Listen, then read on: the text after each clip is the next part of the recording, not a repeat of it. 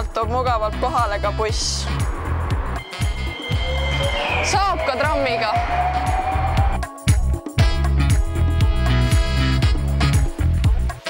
või rattaga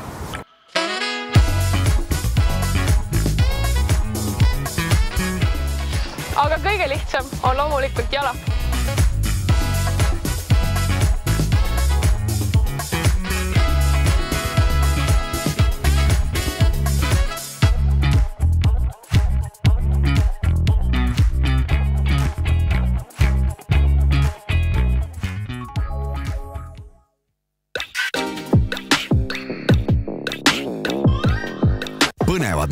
Mängumaailmad leiad Kuulbetist. Kuulbett, alati mängus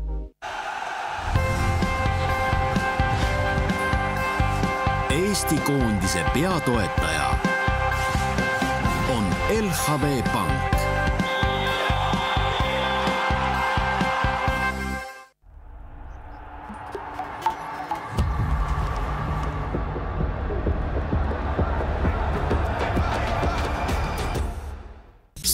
Asjad ei juhtu ühe päevaga. keegi ei ole muutunud üleöö tervislikuks või bännerile klikkides alandanud kaalu. suured asjad juhtuvad hoopis tasapisi. sul on võimalik teha värskemaid ning tervislikumaid valikuid ja seda mõistliku hinnaga. sa ei pea tegema suuri kangelastegusid, tee hoopis väikeseid, aga tee neid pidevalt. Rimi, parem iga päevaga. põnevad mängumaailmad leiad Kuulbetist. Kuulbett, alati mängus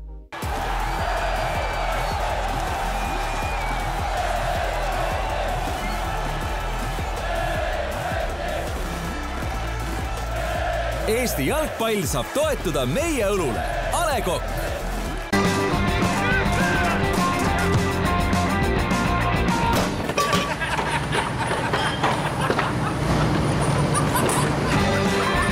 tõmbame mängu käima. rendiseadmed Pramirendist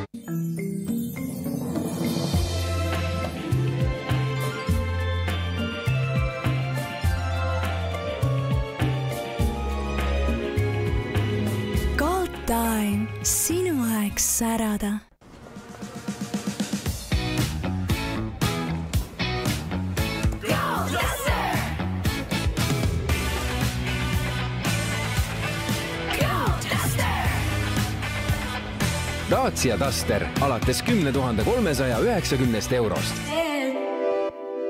ostes nüüd Dacia, saad talverehvid kingiks kaasa. abc Motors, Eesti Jalgpalliliidu ametlik autopartner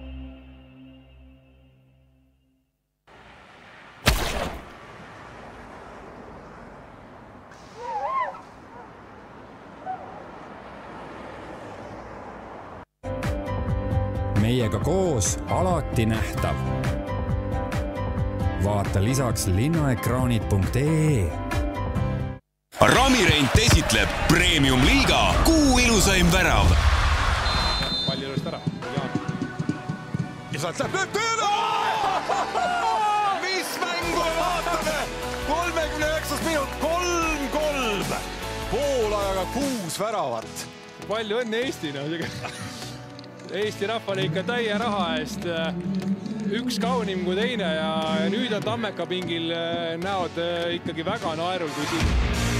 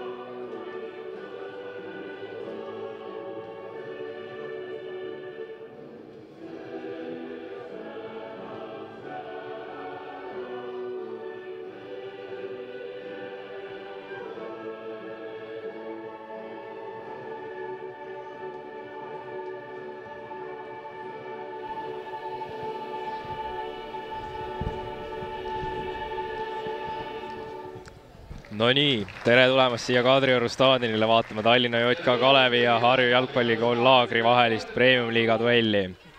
tegu on Kalevi jaoks väga tähtsa päeva ja õhtuga, sest tähistatakse oma kahekümne esimest taasasutamise sünnipäeva ja kogu staadioni ümber toimunud melu, mis siin senise aja jooksul aset on leidnud, on olnud korralik. staadioni äärde on riputatud õhupallides kiri Kalev kakskümmend üks enamat kui jalgpall ning nii noortele kui vanadele on siin viimase tunni-pooleteise jooksul absoluutselt igasugust võimalikku tegevust pakutud ja korralik kodumängu korraldus igatahes hetkel paistab olevat. hetkel tabeliseis räägib siis sellist keelt, et äh, Tallinna Kalev on hoidmas äh, premium-liigas äh, kuuendat tabelirida ja Harju Etka Laagri viimasel positsioonil. punkte on siis meeskondadel vastavalt kolmkümmend kolm ja viisteist punktid kodus võõrsil on Kalevil seitse ja Harjul samuti võõrsil seitse ja siia juurde on alati paslik ära mainida seni, kuni see veel võimalik on, et Kalev ei ole endiselt saanud kodumängudes sellel hooajal mitte ühtegi võitu. kõik seitse punkti on tulnud viikide läbi ja kindlasti on see midagi, mida nad tahavad muuta, eriti kui on soov püsida medalimängu konkurentsis ja meeskondade parimad väravakütid on siis Kalevil kuue tabamusega Fodai Travalli, kolm tabamust on löönud Arseni Kovaltšuk ja Tristan Toomas Teeväli. tõsi, Travallit me täna ei näe, sest tema on mängukeelu all ning Harju Etka laagril on mehed jaotunud võrdselt väravate löömise osas. kolm tabamust on kirja saanud nii Danil Rudenko, Kaarel Usta ja samuti Kaarel Usta vend Daniel Usta. aga käimegi üle ka meeskondade algkoosseisud, sest siin on muudatusi võrreldes eelvaatega küll ja veel kodumeeskond Kalev alustab järgnevalt väravas Oskar Jussi Forsman, kaitseliin paremalt. Hugo Palutaja, Georg Pank, Ragnar Klavan ja Danil Sutšukov. keskväljal on alustamas kolmeses poolkaitseliinis Ramon Smirnov, Tristan Toomas Teeväli ja Sander Sinilaid. Ning eelvaatega võrreldes ongi Kalevi puhul erinevuseks hetkel see, et Smirnov sai algkoosseisus võimaluse ja tema asemel sinna meie poolt ennustatud Marek Kaljumäe peab hetkel alustama siiski pingilt ning ründeliin on Kalevil paremalt järgnev, kümme Taavi Jürisoo, tipus kolmkümmend kaheksa Aleksandr Šapovalov ja vasakul seitse Arseni Kovaltšuk. Harju Jõtka laagri koosseis on järgnev, väravas Ivan Spaturins, kaitseliin paremalt üheksateist Aleksandr Ivanjušin, neli Andres Järve, kaheksateist Danõl Maštšenko ja kakskümmend viis Jako Kariste, alumised poolkaitsjad kuuskümmend kuus Kaspar Rõõmussaar, kaheksa Uzalifa Ose Indi, kaheksakümmend kaheksa paremal äärel Reinhard Reimaa, vasakul kakskümmend kolm Danil Rudenko ning eesrünnakul oma Premiumi liiga algkoosseisu debüütidega Kristjan Kriis ja seitsekümmend seitse Daniel Usta.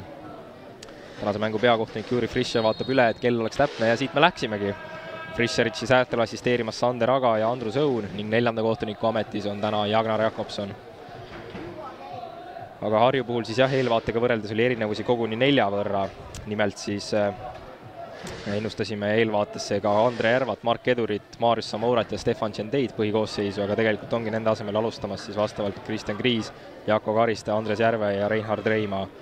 ning Kristjan Kriisi puhul mainisin juba statistiliselt, et jah, esimest korda siin algkoosseisu võimaluse saab ning kahtlemata suur tõe, et kaheksateistkümneaastasele ründamängijal on ja meeskondade pingid on järgnevad, Kalevil väravaht Maiko Rimmel, Kaspar Laur, Ats Purje, Andres Kiivit, Vadim Mihhailov, Martin Tomberg, Marek Kaljumäe, Tanel Tamberg, Mikk-Johannes Siitam ning peatreeneri kohuseid täidavad endiselt Aivar Anniste ja Daniel Meiel. Harju pink on lühem, aga see-eest ilmselt mitte palju vähem nimekam, väravas Sten-Martin Vahi, Mark Edur, Martin Niilop, Sander Must, Kaarel Usta, Ander-Joosep Kose ja Andre Järva. Ning peatreener on endiselt Viktor Manuel Goomesta Silva ja kui siin juba nimesid hoogsalt ette vuristanud olen ja enne mainisin, et Travalli Kalevi parima väravakütina on mängukeelu all, siis võib üle käia ka selle, kes siin mängukeelu ohus on täna, kui kollase kaardi korjama peaks. Kalevil on nendeks meesteks Taavi Jürisoo, Kaspar Laur ja Hugo Palutaja. vaatame selle tuleku ära, Aleksandr Šapovalov, siin on Karissalu lähistel palli saanud, hetkel suluseisu lipp püsib maas, võtab kaitsjad vaikselt ette ja mängib söödu ka siia Karissalu joone taha, aga Kriis on ründajana vahel ja peksab palli minema ning nüüd fikseeritakse suluseis ka teise abikohtuniku Andrus Õuna poolt ära ja Harjul on nendeks meesteks, kes mängukeele ohus on Ivan Spaturin, Stanõl Mašenko ja Roman Sobtšenko, tõsi küll, viimane ei ole väga mitu kuud vigastuse tõttu pallimurul käinud, aga see oht teda siiski endiselt kimbutamas on, kui ta ükskord taas vutiväljakutele oma tee leiab.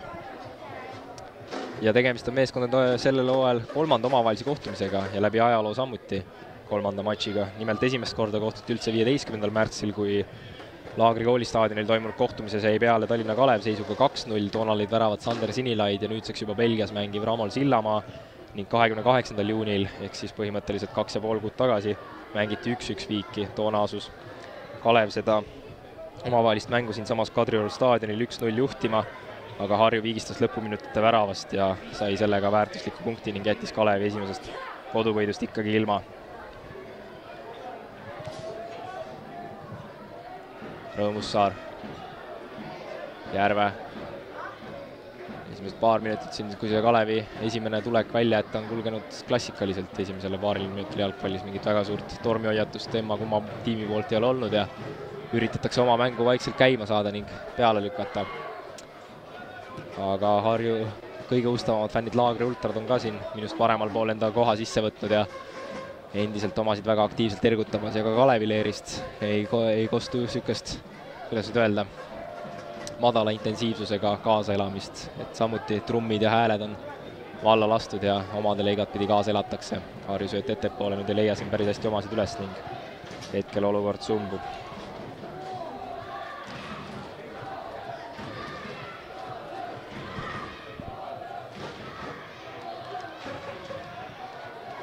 Järve.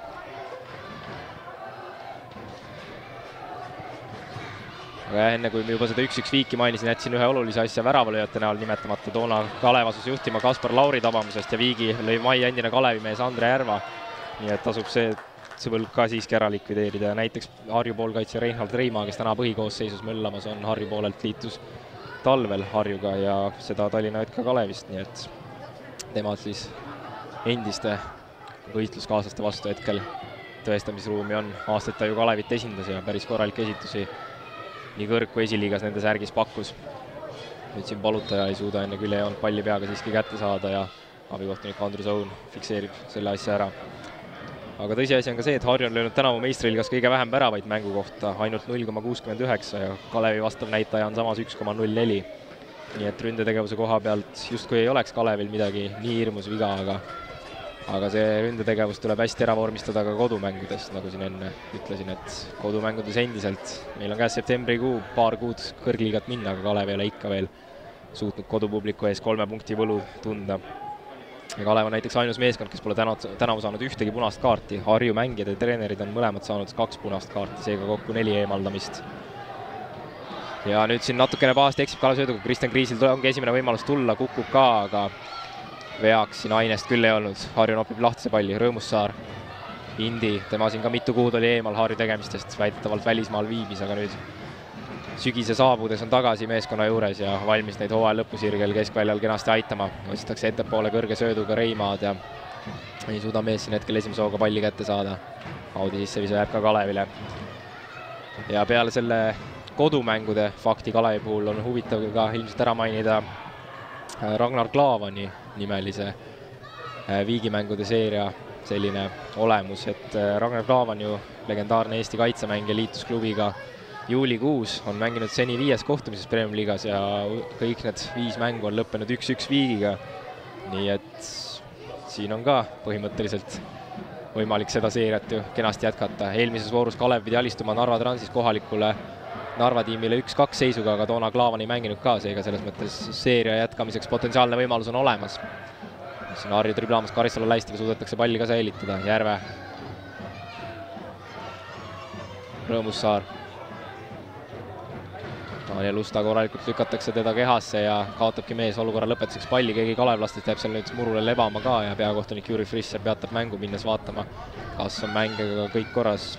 paistab, et Smirnoviga tegu on, aga võtab mees mõne hetke toibumiseks, ajab kargu alla ja on valmis edasi mängima. ja Harju omab näiteks ka meistriliiga pikimat käimasolevat kaotuste seeriat, olles hetkel kaotanud kolm mängu järjest. nädala alguses Tipneri karikavõistluste raames kolmandas liigas põhjatsoonis mängiv Olympic Kolibet küll kaheksa-null alistati, aga peamiselt on meeskonnal vaja võite koguda ikkagi premium-liigas, et ka järgmine aasta kõrgseltskonnas mängida. sest hetkel on üheksandal kohal asuv Tartu Jötka Tammeka koguni üheksa punkti kaugusel. eilne võit Transi üle kergitas neid veelgi kaugemale Harjust ja hooaja lõpp on Harjul vaja väga edukalt, väga stabiilselt mängida. ja nende kolme mänguga, mis Harju siin kõik kaotanud on, järjest pole löödud ise ühtegi väravat ka, nii et see on ka kohati ilmselt selle statistilise näitaja üheks põhjuseks, mis oli siis kõik null koma kuuskümmend üheksa väravat mängu kohta Harju poolt, seega igatpidi on nagu ruumi veelgi paremaks ja suuremaks arenguks.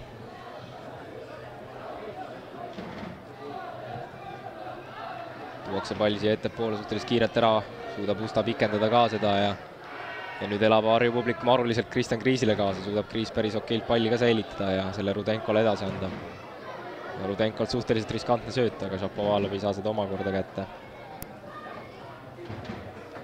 ja ausa mängu edetabelis on Kalev näiteks esimesel kohal kaheksa koma kahesaja üheteistkümne punktiga, Harju on omakorda viimane seitsme koma kuuesaja üheksakümne ühe punktiga.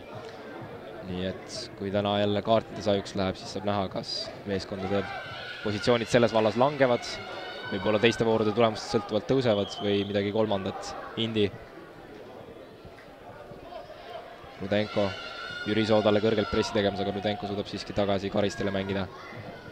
Ja koduse külastatavuse poolest on Kalev hetkel neljas, neid on kokku käinud vaatamas neli tuhat nelisada seitsekümmend üks inimest ja keskmine number on kolmsada seitsekümmend kolm.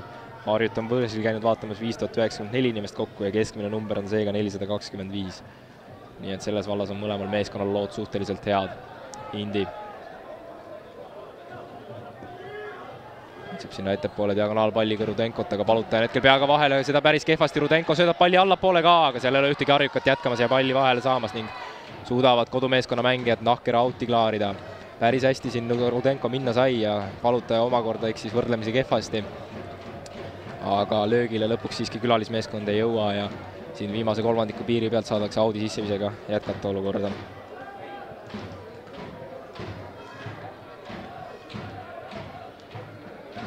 Järve.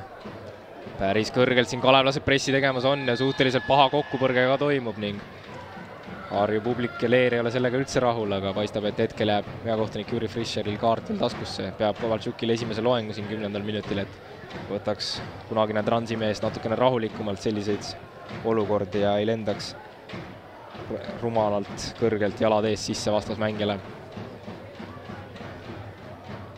Kariste ja positiivne on tõdeda, et esimese kümnekonna minuti jooksul ei ole endiselt Kalevi trummid vaibunud ja omadele elatakse päris jõuliselt kaasa.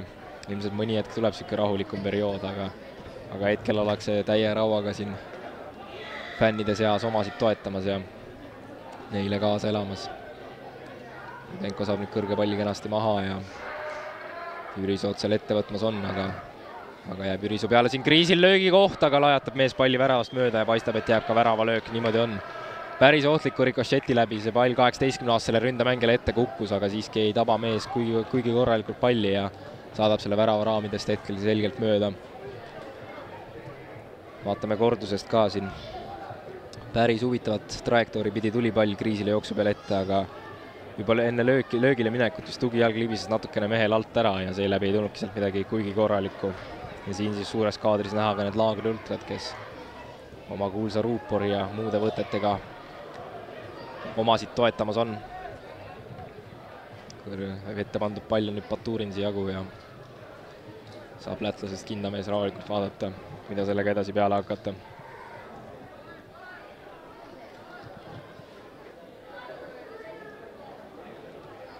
Indi selle ettepoole päris hea diagonaalpalliga Reimad, aga siiski hetkel natukene läks mööda see sööt adressaadist ja ei saa endine Kalevi mees seda kätte.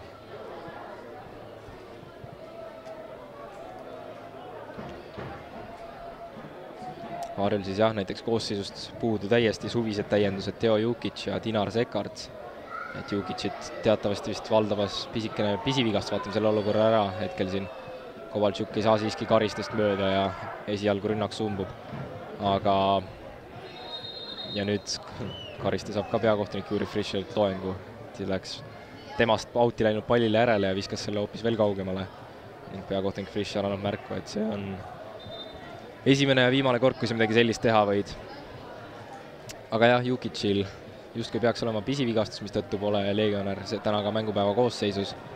tõsi küll, senise hooaja jooksul ei ole ta Harjule vähemalt resultatiivsuspunktide osas midagi märkimisväärset juurde toonud ja Dinar Sekarts on eelkõige saanud mänguaega U kakskümmend üks võistkonnas teises liigas ja samuti premium-liigas debüüt tal hetkel tegemata, kuigi mõlemad mehed klubiga juba rohkem kui kuu aega tagasi liitusid.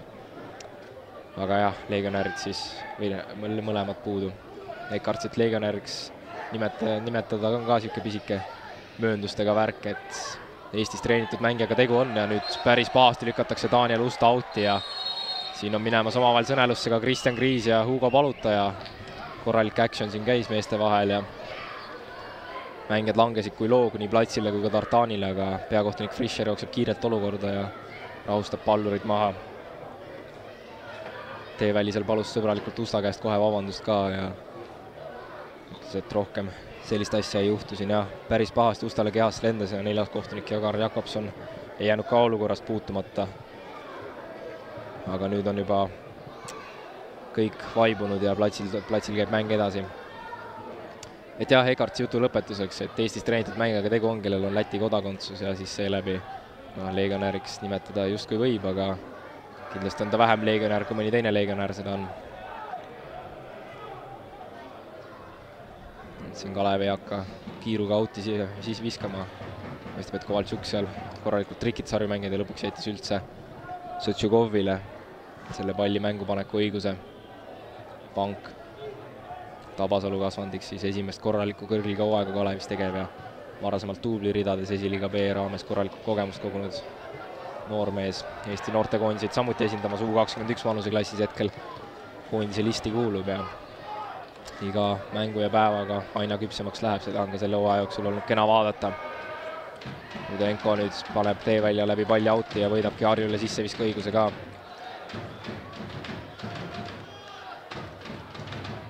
Rudenko siis liitus natukene rohkem kui aasta aega tagasi Harju Leiriga. Ukrainast pärit mängumehega tegu on ning kaks tuhat kakskümmend kaks aasta suvel saabununa aitas klubi ajaloolise esiliiga võiduni ja Premium-liigasse saabudes ei hakatud samuti teda kuskile ära või laenule saatma ja ning kenasti.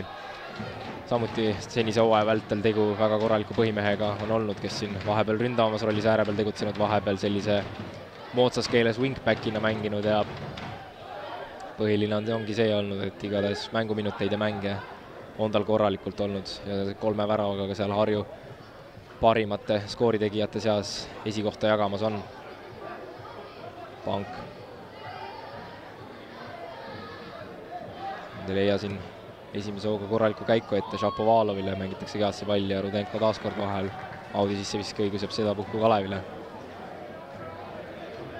Šapovalovil siis jah, hooaja algus Floras ei olnud taaskord selline noh, nagu tema ja klubi oleks võib-olla eeldanud. Mõned väravad seal tulid, aga kindlasti mitte piisavalt ja poole hooaja pealt saadetigi Kalevisse laenule, kui seal ründajatega erinevaid vangerdusi tehti.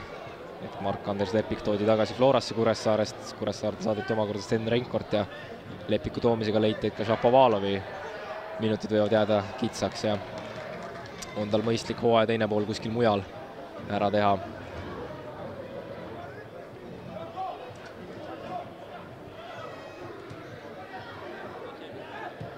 esimese viieteist minuti puhul on jah, ikka korralik olnud näha, et Kalevi mehed lähevad väga jõuliselt olukordadesse ja ei karda üldse seda kõrget pressi teha.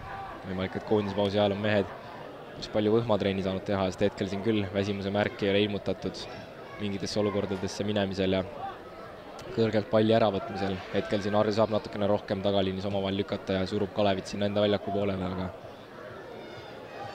aga ei midagi selles mõttes hullu Kalevi vaatevinklist. Kariste Priis üritab nüüd ühe puutega Rudenkole jätkata, aga ei tule päris välja.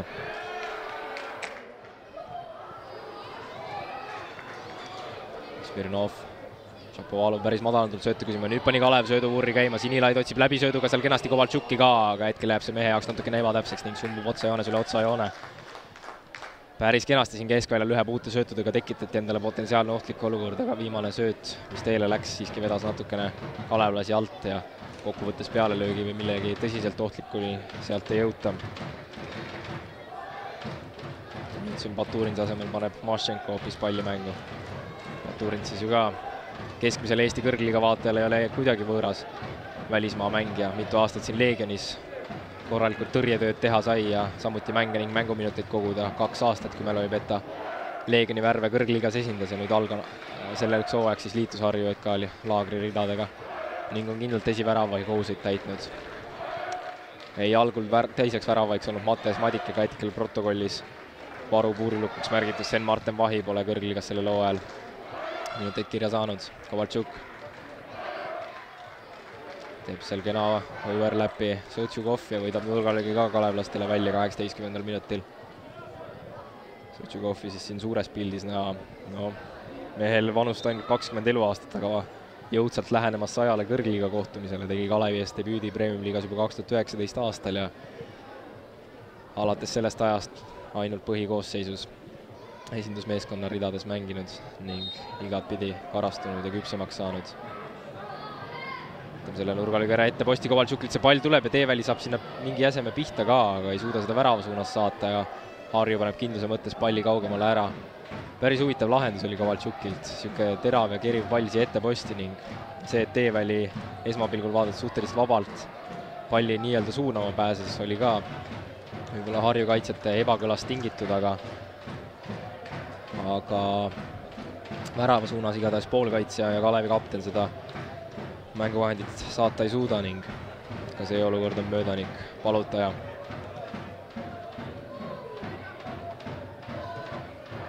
ja nüüd on siin Harju mehed natukene omavahel mööda rääkimas ning Kriis ja Kariste ei suuda ära otsustada, kumb selle palli enne küljejoont võtab ning suhteliselt lihtne audi sisseviise kalevlastele kingitakse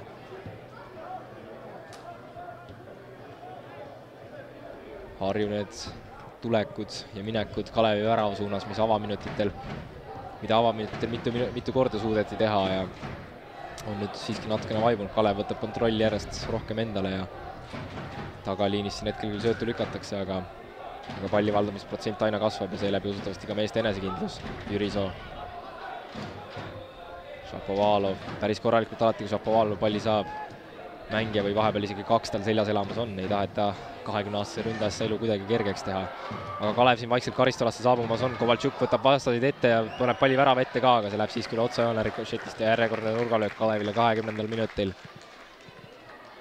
Kovaltšuk tahab neid üleasteid teha ja seal üks-ühele mängijaid ette võtta, eks see on igatpidi loogiline ka, tegu väga tehnilise mängijaga ja hetkel siin kenasti järjekordse standardolukorra omadele välja võidab asub ise ka palli taha. millest tuleb jälle selline terav, keriv pall etteposti või on midagi muud mehel kavas, nüüd tuleb kõrgemalt sinna etteposti suunas, aga Baturins peksab rusikatega noh, kera minema, nüüd tuleb uus pall siia värava ette ja see ka siin ei saa kalevlased jaole.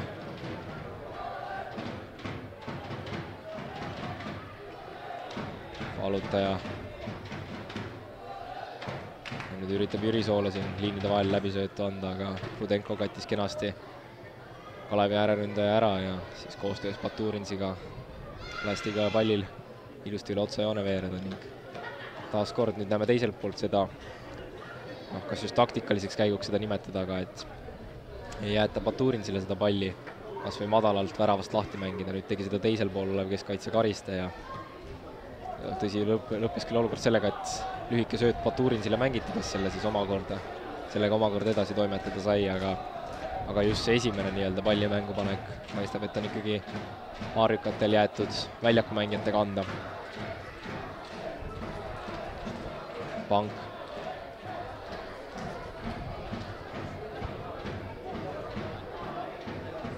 Klaavan. Kalevile kindlasti hindamatu väärtusega mees siin hooaja lõpuks ja enne mainisin neid üks-üks viigiseeriaid, aga mees ka näiteks resultatiivse söödukirja saanud selle ajaga ja alati, kui platsil viibinud, on siis üheksakümmend minutit teinud ja kaitseliini kindlasti rohkem kui teataval kogusel turvatunnet ja muud vajaminevat lisanud. Musta nüüd teeb korralikult tagasitööd ja võidab palli omadele, Kriis, Rudenko, Rõõmussaar, Harju ei taha ka oma söödupurriga Kalevis kuidagi kehvem olla, Reima võtab päris kenasti kalevlasi ette, suudab Harju endiselt palli säilitada, Rõõmussaar. Pank teda taga ajamas on, nüüd natukene Rõõmussaar siin kinni jääb, aga endiselt suudetakse väga kenasti välja tulla ja nüüd on Rõõmussaarel võimalus Karistala suunas purjetada, läheb seal mees, võtab tee välja ette ka vasaku jalaga, pall tuleb värava ette ja sealt päästetakse kuidagimoodi löögile ka, aga siiski väravast see pall mööda lendab ja paistab, et peakohtunik Juri Fischer näitab ka väravalööki. Reima sinna ette posti spurtis ja mingi kehaosa vahele sai ka, aga puuri suunas seda mänguvahendit tal saata ei õnnestunud ja hetkel Forsmani värav jääb taas kord puutumata. aga väga kenasti tuli Harju nende söötudega siit oma karistusala lähistelt, jõudis Kalevi väravani välja ja vaatame korduses siin Rõõmussaare sööt võtab teevälja jalast rikošeti ja Reima peaga, jah.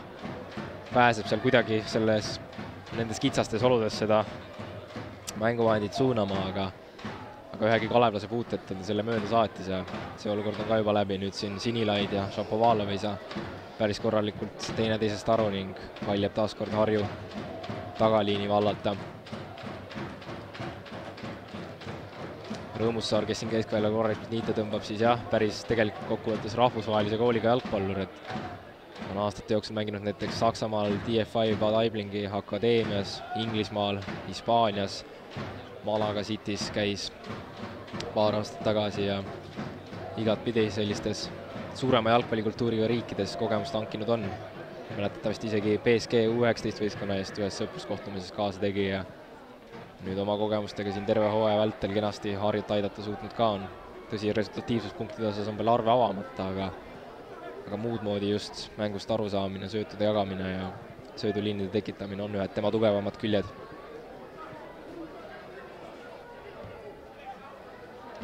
Klaavan rahulikult siin pangiga omavahel söödujalad soojaks söödetakse. pank annab Klaavanile tagasi, Klaavan nüüd natukene tõuseb ettepoole. Sõtšukov.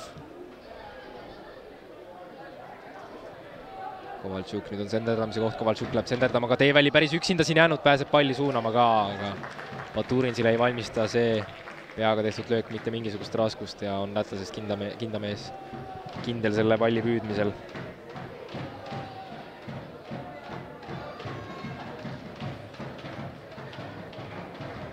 Kariste.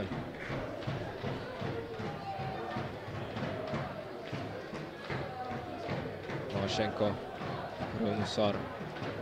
Mašenko siis selle hooaja eel Harju ridadega liitus ja tema samuti siis sarnaselt Rudenkole ukrainlane ning senise hooaja vältel võib nimetada teda ikkagi põhikoosseisu mängijaks, väga korralikult siin keskkaitses tegutsenud on ja tavaliselt Karistega nad selle tagaliini keskmise paari moodustanud on. Samurat siin erinevad vigastused ja kaardid kimbutanud on ning tema ei ole võib-olla päris sellisesse kesksesse rolli seal tagala turvamisel tõusnud. täna ka meeskoosseisus täiesti puudu. mõni päev tagasi Harju asjapulkadega rääkides tema nime, teda nimelist küll välja ei toodud, aga võib-olla siis on mingi muu põhjus, näiteks täna ma spekuleerides täna hommikune võib-olla haigus või mingit muud moodi saadud trauma, mis ta kohtumisest eemale jätab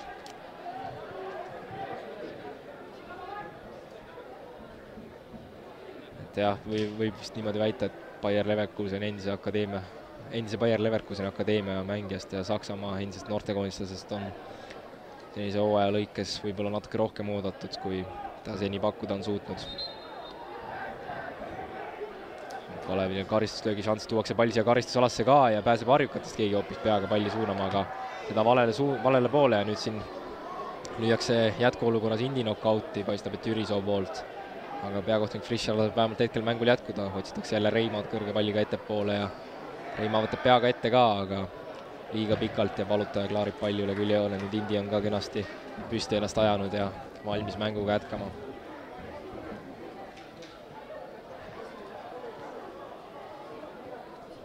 ja Harju võtab väga rahulikult selle audi sisseviskega.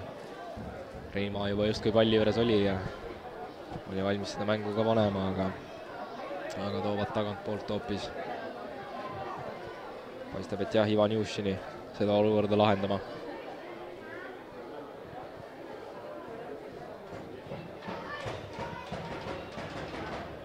ja päris kena kannasööduga siin Sõtšukov saadab Reima Kohvile ja võidab omadele palli valdamise õiguse. valutaja ja nüüd siin klaarib Mašenko suhteliselt pahasti vastu Sinilaid, väga harjukate õnneks ei ole seal ühtegi kalevlast lähedalt olukorda noolimas. Šapovalov kõrgelt Baturinsile pressi tegemas, nende kahe mehe näol siis ka ju tegu endise, endiste klubikaaslastega, et kui Baturinsi Leegioni karjäärist siin enne rääkisin, siis Šapovalovi näol tegu täieliku Leegioni kasvandikuga ja kaks tuhat kakskümmend üks aastal kõrgliigas ta nende eest kahekohalise arvu väravaid kirja sai. nii et mehed ei ole teineteisele kuidagi võõrad, nüüd siin Jürisoo ei jõua läbisööduni enne Baturinsit ja lätlasest Puurilukk saab palli noppida ning rahulikult omasid ergutada ja maha, samal ajal ka maha rahustada, et kompaktselt kohad sisse võtta ja oma mänguga jätkata.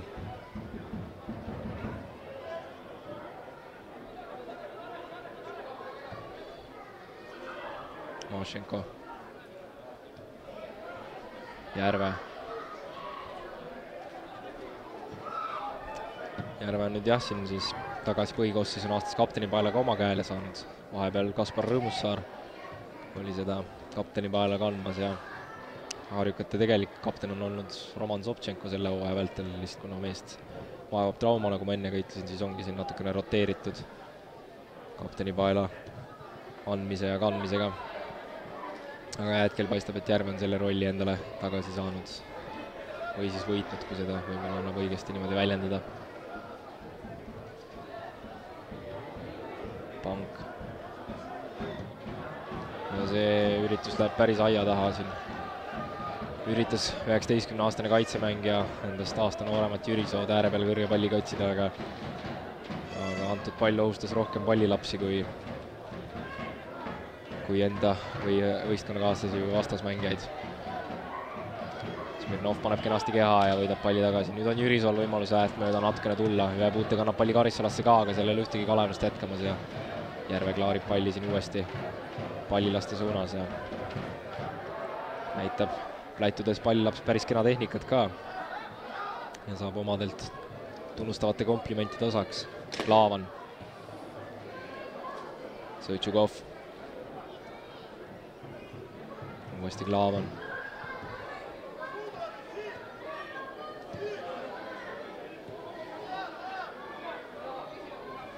ja kuigi Kalev on saanud suhteliselt palju seda palli vallata, siis sellist väga ohtlikku tulemist pole tegelikult olnud niimoodi madalate söötude läbi, meenubki see üks umbes kümnekonna minuti tagune olukord, kus kenasti ühe puute söötudega Harju Karissalani välja jõuti, aga pärast seda pole samasugust tralli käima suudetud tõmmata. Klaavan uuesti, Pank kui see asi niimoodi jätkub, siis huvitav oleks teada, palju Klaavan, Pank omavahel söötu lükkavad kohtumise lõpuks. see arv peaks juba päris suur olema. valutaja siin võtab kenasti vastaseid ette ja lõpuks siiski läheb, paistab, et Jürisoost mänguvahend välja ja saavad harikad jälle siin viimasel kolmandikul mehed paika panna ning palli mängu panemist alustada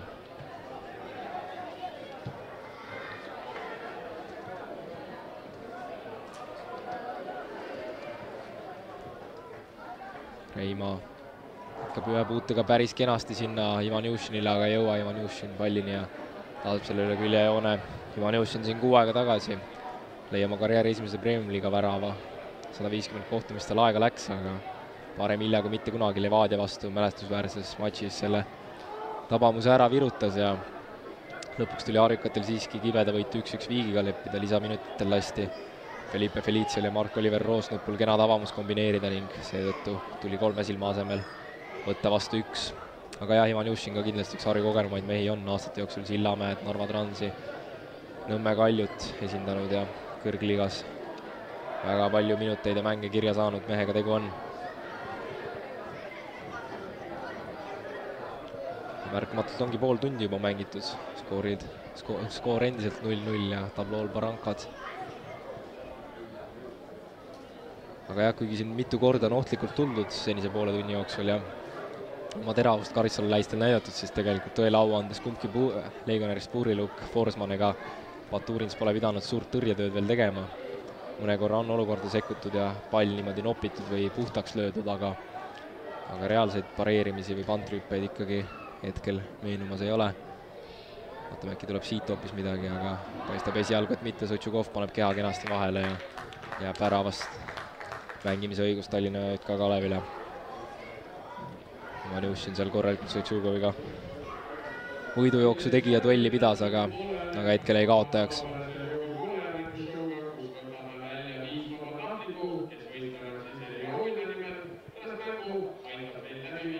Forsmani pika palli juures on nüüd Ivanjušin justkui peremeheks saamas, aga aga taaskord jõuavad kalevlased ka uuesti olukorda ning lõpuks Audi sissevise siiski Harjule jääb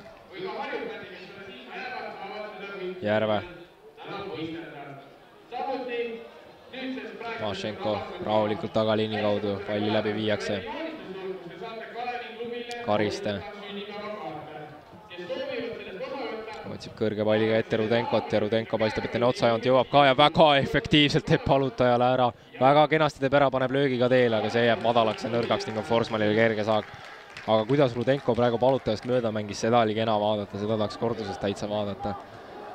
Saatis palli ühelt poolt meest mööda niimoodi siseküljega jooksu pealt ja ise puidis teiselt poolt. ja näitas, et temal on kolmekümne kahe minutiga tehnikapagas kenasti olemas. ja tänaseks mänguks soe. Šapovalov ei leia nüüd käiku ettepoole, mängib rahulikult teevälja kaudu tagant läbi. Smirnov, Kalevi täielik enda kasvandik, noorteklassidest järjest tulnud ja samuti duubli eest varasematel hooaegadel valdavalt põhiraskust kandnud, aga nüüd ennast esindusmeeskonna täieõigusliku liikmena kehtestanud. teeväli, ei saa siin Jürisoole korralikku söötu antud ja olukord Kalevi vaatevinklist sumbub.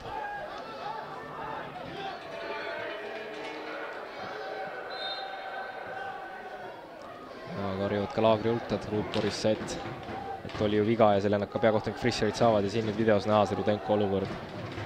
saatis palutaja täiesti siia kõrvale vesivärava grilli ja läks kenasti vastasest mööda nagu postist, aga korralikku lõpptulemust eeldatavalt siis värava näol Harju, harjukate vaatevinklisse ei toonud. pank.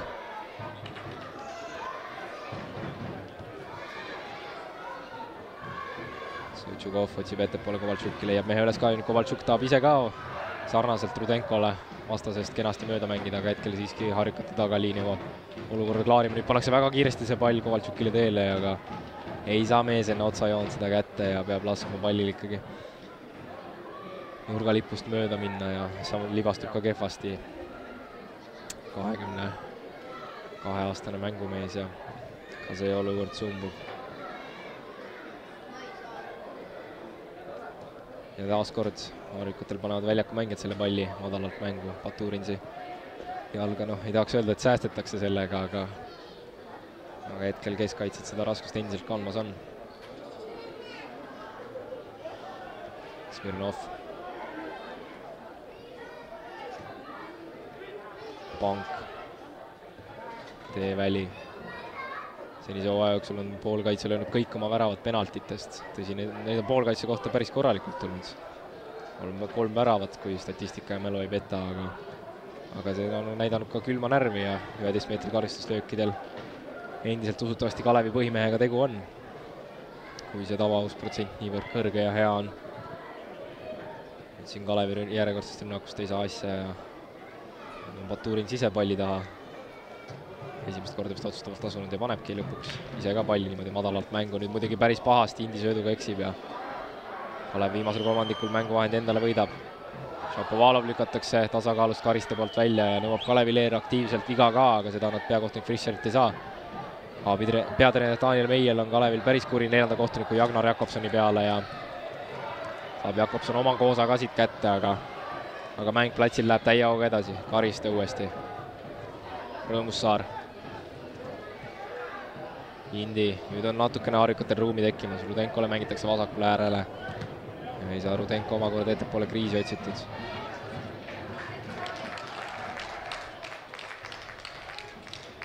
Ja endiselt küsib Meiel Jakobsonilt aktiivselt selle Karissala lähistel toimunud olukorra kohta ja näitab žestide abil ka mis seal täpsemalt siis toimus tema arvates ja kelle vastu kuidas patustati, aga peaaegu minuti jagu tagasi toimunud olukorda ei ole enam mõtet pikemalt lahata, kui siit niikuinii midagi suurt kaasnemas pole.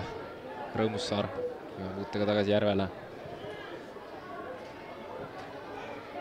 Ja nüüd siin eksib suhteliselt pahasti Mašenko sööduga, Kalevil vaikselt võimalus tulla teeväli. Jürisoole jõuab pall ääre peale kohale ka, Jürisoo ei hakka ette võtma, üritab keskele sinilaiule mängida ja Šapovalov uuesti kukub. hetkel jääb Kalevi pink rahulikuks ja seal mõlemad mehed. Pikali maas on, öeldakse ka, et lööks palli out'i, Rõõmussaar seda ka teeb ja paistab, et Andres Järve on see mees, kes seal valusama laksu kirja on saanud.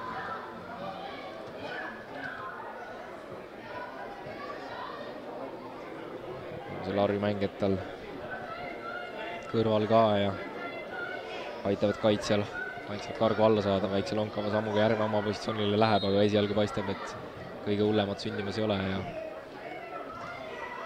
selline esimene paha olukord on möödas. Mašenko. Indi. Rudenko rahulikult kariste kaudu läbi.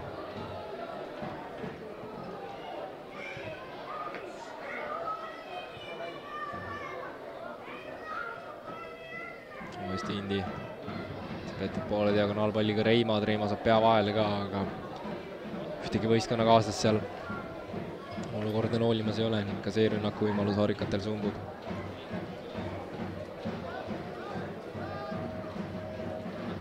valutaja sarnaselt Smirnovile kaks tuhat neli aastal sündinud ja põline Kalevi mängumees.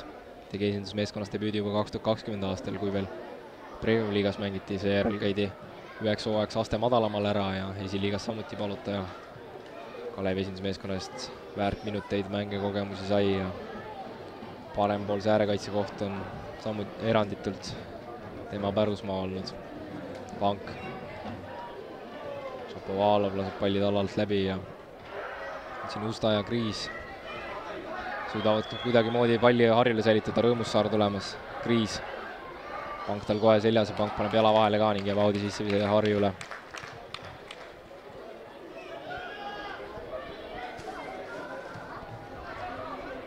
Šapovalov päris kõrgelt pressimas ja julgelt sisse tulemas, nüüd ei suuda Harju siin vasakul pool palli söötudega omadele leida ja tuleb hoopis Kalev vastu, Kovaltšuk võtab rinnaga väga kenasti endale ette, Järvedal vastas. Kovaltšuk siin natukene konksutab löögikoht ka, lajatab peale, aga Ivan Jušin on ees ja blokeerib selle pommi ära. Kovaltšukil oli kohe vana põhitõde meeles, et kui on löögikoht, proovi õnne, lööma peab, lüüa tasub ja seda mees ka üritas, aga hetkel jäi Ivan Jušin peale Klaavan, Sõtšukov, nüüd on natukene ruumi vasakul äärel, Sõtšukov on tõusmas ka, Kovaltšuk. ja uus pall karistusalasse ei leia samuti omasid, nüüd on Järve seal ees. Mašenko klaarib selle asja ära. Pank. Klaavan uuesti Pank. päris hästi leiab siin Smirnovi keskväljal. siis Kalev tulemas ka Šapovalovil löögikoht vasaku jalaga paneb mees peale, aga oli see üritus väravast mööda sumbumas ja Baturint sai selle kenasti nopitud ka. Ründetegevuse osas senise avapoole jooksul nelikümmend minutit oleme hetkel seda konkreetset kohtumist vaadanud, on mõlemal meeskonnal nii mõndagi muuta, sest selline viimane täpp piile või konkreetne teravus vastase värava ohustamisel on jäänud selliseks murekohaks mõlema võistkonna jaoks, et siin on kindlasti vaja kas taktikaliselt midagi muuta või vangerdusi tegema hakata, kui tahetakse positiivne resultaat kohtumisest kätte saada, Harju on siin saatnud sooja tegema. Ander-Joosep Kose, kes siis kuu aega tagasi Premium-liiga debüüdi tegi Narva Transi vastu koduses kohtumises, mis null kaks kaotati ja paistab, et teine mees, kes seal läks, on Sander Must, et noored mängijad hetkel otsajoone taga sooja tegemas on, tõsi, see ei tähenda, et nad nüüd kohe lähiajal sekkumas oleks. vaevu tahan uskuda, et enne poolaega siin mingeid vahetusi toimumas oleks, aga aga jah, mine tea, kõik stsenaariumid võivad olla võimalikud. Rudenko paneb nüüd palli audist mängu, aga saadab selle kohe esimesele kalevlasele, kes ta juures on. Kariste. kus ta paneb ühe puutega välisküljega söödu Rudenkole ja nüüd on Harjul tulla, Rudenko teeb uuesti paluta ette, pall tuleb värava ette ka ja on üks-null olemas. Kristjan Kriis, algkoosseisu debüüti tegev kaheksateistkümne-aastane ründemängija virutab selle tavamuse neljakümne esimesel minutil ära ja siit läheb pool väravat kindlasti Danil Rudenko nimele. taaskord võttis ta Hugo Palutaja kenasti ette, tegi äärekaitsele üks-null, terav pall värava ette ja Kriis oli õige mees õigel kohal, lajatades ühe puutega selle palli Oskari Forsmani värava võrku ja see on nüüd riietusruumi värav, see on nüüd riietusruumi värav, mille Harju Kalevile lööb ja videoruum küll vaatab siin tabamust üle, aga esialgu ei paistnud küll mitte midagi määruste vastast, mis selle värava annulleerida võiks. kriis näitab publiku suunas ka püstist pöialt ja tänab neid toetuse eest ning Harju laagri põhifännid, laagri ultrad elavad ka talle uuesti väga aktiivselt kaasa, vaatame kordusest. Rudenko siin läks, tegi palutajale ära enne otsajoont vasaku jalaga tuli pall karissalasse, Kriis spurtis sinna sisse ja suunas ühe puutega palli Ragnar Klavani eest võrku ja see on kindlasti kriisile mälestusväärne hetk. mäng läheb edasi juba platsil, mingit rikkumist ei olnud. nagu enne mainisin, Kriis on küll mänginud üheteistkümnes Premium-liiga mängus sellel hooajal, aga seda ainult saja kolmekümne seitsme minuti jagu ja kõik need kohtumised, kus ta on mänginud, on ta sekkunud vahetusest. ja nüüd on esimene värav ka kirjas, esimene punn on pealt saadud. Aga vaatame, mäng läheb täie hooga edasi, nüüd siin ei suuda kalevlased esimese hooga palli säilitada, aga Harju jääb samuti kohe palli võites duellis kaotajaks. ja Kalevil on küll pidupäev täna, aga, aga tuletame endiselt meelde seda justkui vana ja kulunud fakti, aga siiski uskumatuna näivat statistikakildu, et endiselt ei ole kodus võitu suudetud võtta ja järjekordselt tagaajaja rollis ollakse. viike on küll nopitud siin Kadrioru staadionil kui ka Sportland Arenal ja kodustaadioni mängudes, aga aga kolme punkti maik ja võlu on veel jäänud saamata ja tundmata, Smirnov. Ja ei saa seal Šapovalovit läbisõiduga leitud, Mašenko libistab ennast kenasti olukorda ja Harju nüüd ise tulemas, Krii-, Jüri suudab Kriisile jalgadesse minna ja nüüd palutaja klaarib palli nii kenasti vastu Kriisi, et see lendab otsejoones üle küljejoone ka. ja paari minuti pärast peaksime teada saama, palju meil lisaminutid avapoolele tuleb, usutavasti ühe-kahe jagu me neid saame, aga enne ei julge midagi pakkuda, kui siin tabloo neljanda kohtuniku käes ei ole veel. Smirnov purjetab päris kenasti, saade jätab kõik neli meest selja taha ja nüüd võtab Indi ta maha ning paistab, et peakohtunik Juri Fischer piirdub ainult suulise hoiatuse ja karistlöögi määramisega, esialgu vaatasin, et juba käsi läheb ka taskusse ja tuleb kohtumise esimene kollane kaart, aga hetkel veel Fischer kaarte hoiab taskus, aga Smirnov tegi siin tõesti kena soolo, jättis järjest mängijaid selja taha ning lõpuks tuli ta vea hinnaga maha võtta harjukatel. ja siin on siis suures pildis näha laagri ultrad, kelle seas on ka mitmeid Harju EK laagri duubel ja kolmanda võistkonna mängijaid, kes omasid aktiivselt ergutavad, mingi kokkupõrge seal karistusalas nüüd toimub, aga esialgu ei määrata midagi, videoruum kindlasti vaatab seda olukorda üle, Šapovalov saadab palli värava suunas, ega ühtegi kalevlast seal seda jätkamas ei ole. Klaavan. Sõtšukov, nüüd on senderdamise koht, Sõtšukov senderdab ka, Šapovalov on siin olukorras, suunab peaga palli värava ette ja sealt ollakse löögile ka minemas, aga hetkel keegi värava suunas otseselt. Väga ohtlikult seda palli saata ei suuda ja paistab, et fikseeritakse väravalöök siiski, jah. Esialgu mõtlesin, kas siit tuli kuidagi suluseis, aga näitas ka peakohtunik Jüri Fischer käega, käega väravalöögi märki. ja vaatame siin kordusolukorda, Šapovalov saatis palli peaga värava suunas, pank oli seal juba valmis seda noolima, aga aga harjukate kaitseliin püsis ees ja ei lastud kalevlastel endale kõige suuremat ohtu kujutada. Turins kavandab mehed kaugele ära ja nüüd saab ise väljalööki rakendada ja seda pika palli andmise näol. kõik mehed siia vasakule poole koondunud on ja nelikümmend viis minutit on täis saanud. neljas kohtunik Jagnar Jakobson ei olegi võtnud tablood kätte ja tal ei ole ka selleks põhjust, sest täpselt neljakümne viie minuti täitudes kohtumine, kohtumise avapoolaeg lõppenuks vilistatakse. noh, ei saa öelda, et see värav ei kuskilt tuli, aga nelikümmend minutit ühtegi tõsiselt ohtlikku võimalust kumbki võistkond pakkuda ei suutnud. ja siis korra juba palutajale peavalu valmistanud Rudenko tuli ja tegi talle uuesti ära ning algkoosseisu debütant Kristjan Kriis, kes siin praegu publiku suunas õhusuutluse ka saatis, spurtis kenasti esiposti ning realiseeris ühe puutega selle olukorra meisterlikult. Harju Jotka Laagri ühe väravaga peal, jääme ootama teist poolaega, vaadake kindlasti ka Sokkerneti videot Tallinna Jotka Kaleviga penalti löömise, crossbar challenge'i ja kõigi muude võistluste osas, mille, mis siin sellel nädalal ilmus. jääge lainele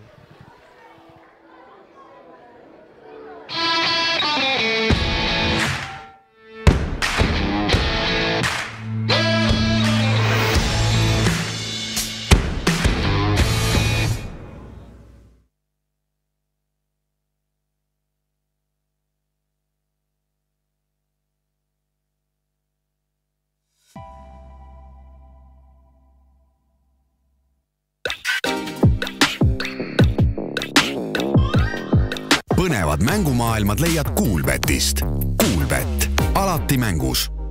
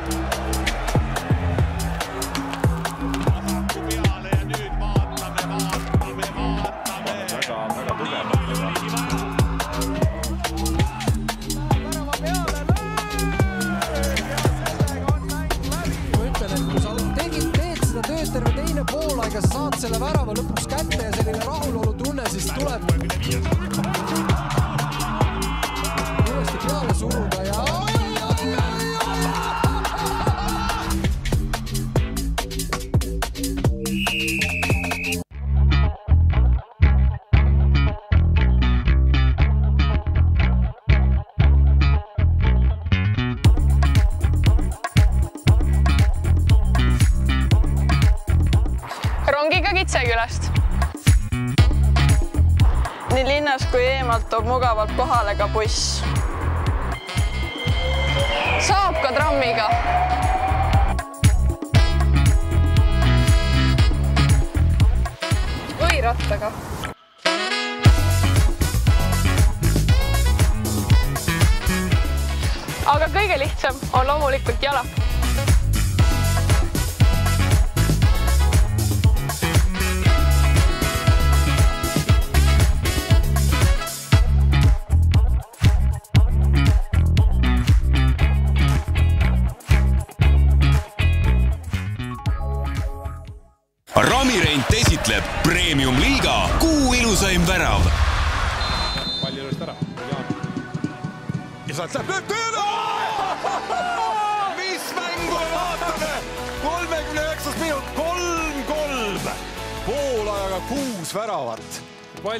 Õnne Eestile Eesti rahvale ikka täie raha eest üks kaunim kui teine ja nüüd on Tammeka pingil näod ikkagi väga naerul, kui siin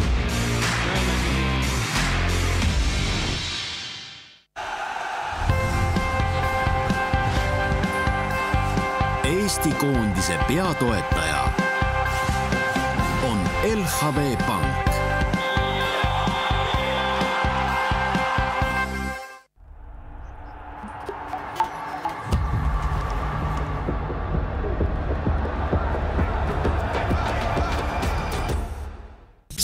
Asjad ei juhtu ühe päevaga. keegi ei ole muutunud üleöö tervislikuks või bännerile klikkides alandanud kaalu. suured asjad juhtuvad hoopis tasapisi. sul on võimalik teha värskemaid ning tervislikumaid valikuid ja seda mõistliku hinnaga. sa ei pea tegema suuri kangelastegusid, tee hoopis väikeseid, aga tee neid pidevalt. Rimi, parem iga päevaga.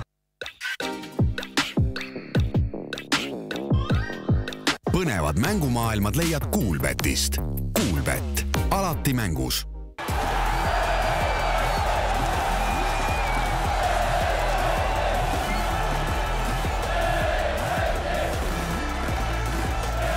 Eesti jalgpall saab toetuda meie õlule. A Le Coq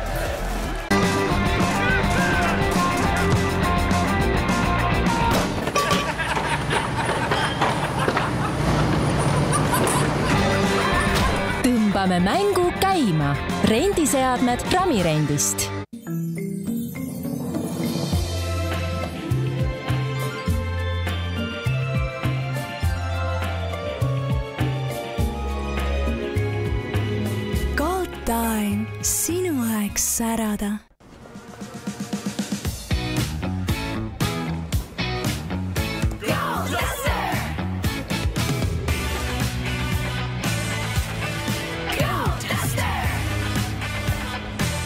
Dacia Duster alates kümne tuhande kolmesaja üheksakümnest eurost. ostes nüüd Dacia, saad talverehvid kingiks kaasa. abc Motors, Eesti Jalgpalliliidu ametlik autopartner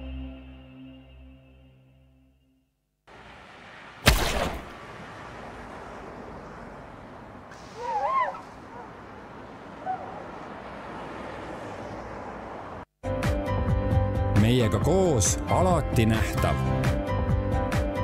vaata lisaks linnaekraanid.ee Eesti jalgpallisõprade peades on sel aastal mõlkunud üks väga tähtis küsimus. kas Premium-liiga on siis aegade tugevaim või mitte? meie võtsime ohjad enda kätte ja kutsusime Tallinna Kalevi mehed Sportland Arenale, et vaadata, kas Premium-liiga on siis nii hea, kui räägitakse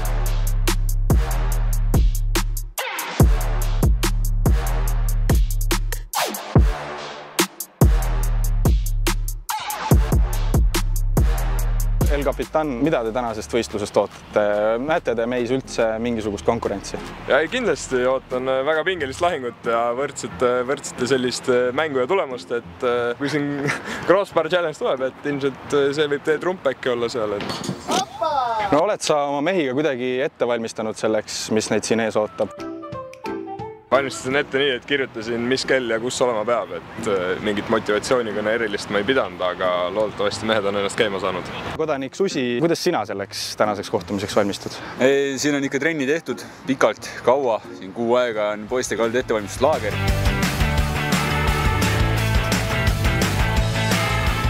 andsime endast parima terve aeg, oli ka vigastusi vahepeal, et need võivad nagu täna siis kaikaid kodaratesse loopida, aga ei ole hullu, saame hakkama alustada või me alustame? võite alustada, me vaatame ära, mis vastas on. külaline peab alustama? Portlandil on kõik kodumeeskonnad. näita seda jalga, mis sa säästsid. pane võib-olla teravam kuidagi. aga see ei loe siis nagu katse või? ei. okei okay.. Maiko hakkab esimest korda viskama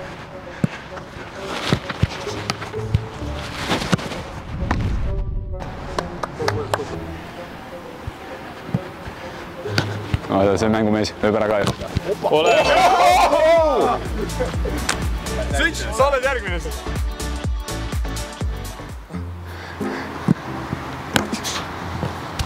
ei, ai, ai, ai. küsi äkki lõikavad välja. saame teha, et oli kaks katset, aga.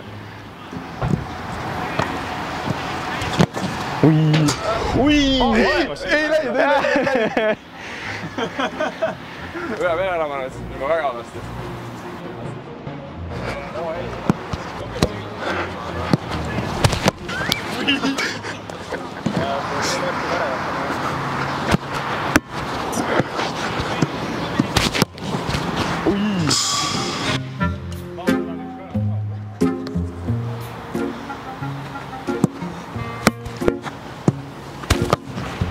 Ründaja kohe näha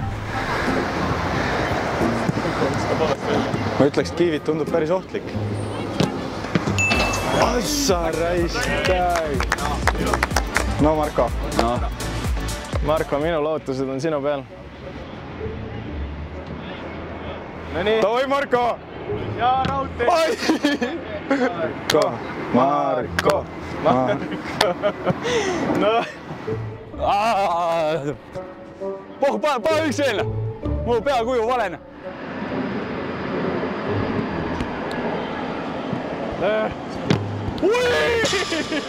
selle viimase mängiga võib rahule jääda. ma võtsin selle teise panin ninaga maha, see ei olnud eriti hea.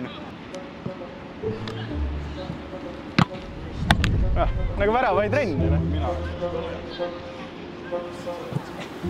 ja nii. no vajuta. okei, okei, no see ei olnud häbiasi, mida kaotada. ilus, ilus, aitäh, aitäh kutid kaks-üks juhite hetkel, kas see on tulemus, millega te praegusel hetkel saate rahul olla? kas nüüd just rahul, aga ma arvan, et juhimees on kõige tähtsam.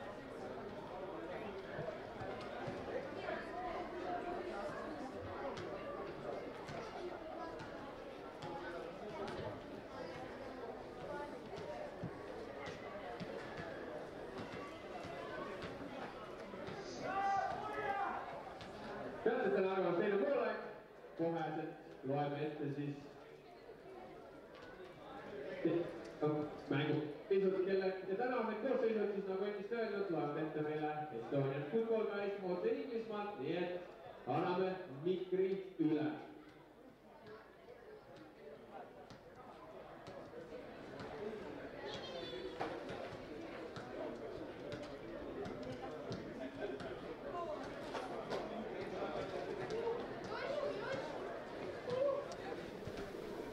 Tere tulemast otsepildis tagasi siia Kadrioru staadionile, kus on jätkumas Harju Jotka Laagri ja Tallinna Kalevi vahelise Premium-liiga kohtumise teine poolaeg. peakohtunik Jüri Fischer annab vale, vilet ja läheme teisele kolmveerandtunnile vastu üks-null Harju Jotka eduseisus. Nende värav oli avapoolaja lõpus siis Kristjan Kriis, kelle jaoks, nagu eelnevalt mainitud, tegu algkoosseisu debüüdi ja debüütväravaga ka Premium-liigas.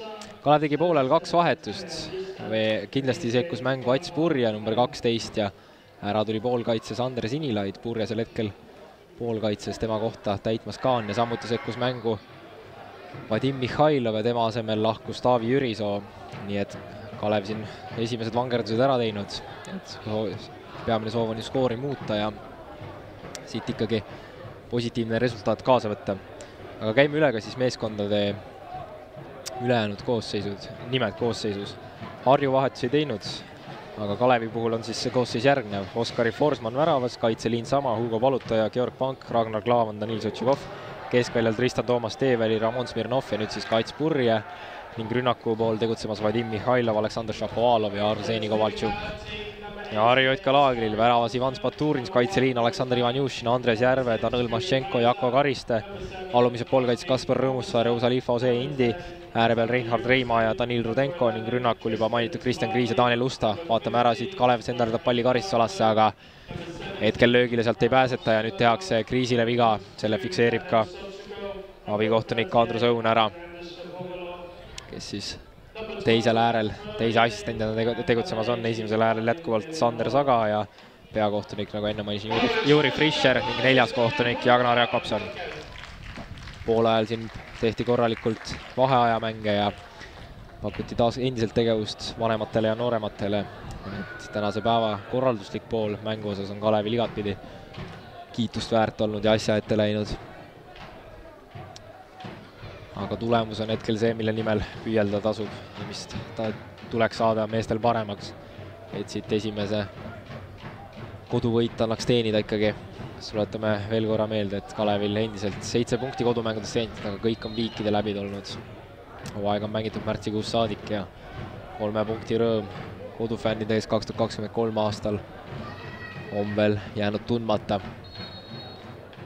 pisikene viga keskväljal tehti, peakohtunik Juri Fischer kutsub Kalevi mehi järjest vestlusele ka ja annab märku, et sellist käitumist ta ei tolereeri ning mängime parem jalgpalli edasi.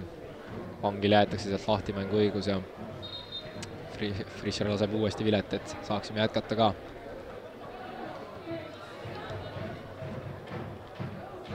Aga jah, Kalevil ründavatest vahetustest kasutada Andres Kiivit ja vajadusel saab ka Kaspar Lauri kahemeetrise kaitsemängija siin ettepoole tuua palle pikendama. hetkel siis nii Vadim Mihhailov kui Ats Purje tegelikult ka ründavad mängijad ju on ja värskete jalgadena teiseks pooleks sisse toodud, Purje küll jah, hetkel seal kaheksa peal tegutsemas keskväljal, aga aga kindlasti sarnaselt kolleeg Ragnar Klavanile peamiselt kogemuse ja juhendamise mõttes ta siin ikkagi platsil omasid aitamas on. Muidugi ka kvali-, meeste kvaliteedis ei tasu kahelda, see on ka kahtlemata kõrge, aga aga selline nooruslik koosseis vajab ka piisavalt külma pead ja kogemusi, et oma eesmärkide poole püüelda. Mihhailov võtab siin kenasti ette ja on spurtimas ka karistusalasse, aga Indi tuleb, sätib ennast vahele ja paneb palli out'i ära. teise poole alguses rääkisid Kuulbeti koefitsiendid tulemuse osas sellist keelt, et kolm koma seitsekümmend viis hinnati Kalevi võidu tõenäosuseks, Viik oli kolm koma null null ja Harju võit oli kaks koma kümme, aga näiteks enne Pela oli Kalevi võidu tõenäosus üks koma kuuskümmend kuus, Viik neli koma null ja Harju võidu tõenäosus neli koma viis null. kuigi no õnneks mängitakse jalgpalliplatsil, mitte kihlveokontorites, vaatame, mis siin järgneva neljakümne pluss minuti jooksul veel kõike saada võib. Kalevil nurgalöök kasutada. tuuakse see siia penaltipunktist natukene kaugemale Klaavanile pea peale, Klaavan pikendab ka ja Baturins peab nüüd sekkuma ning palli rusikatega ära peksma, aga olukord ei ole veel läbi, Kovaltšuk paneb peaga uuesti palli Karissala suunas ja lõpuks paistab, et Harju justkui saab selle minema, siiski mitte, Kalevilt uuesti pall karistusalasse ja nüüd on Baturins kindlalt kõige kõrgemal ja püüab kahe käega palli.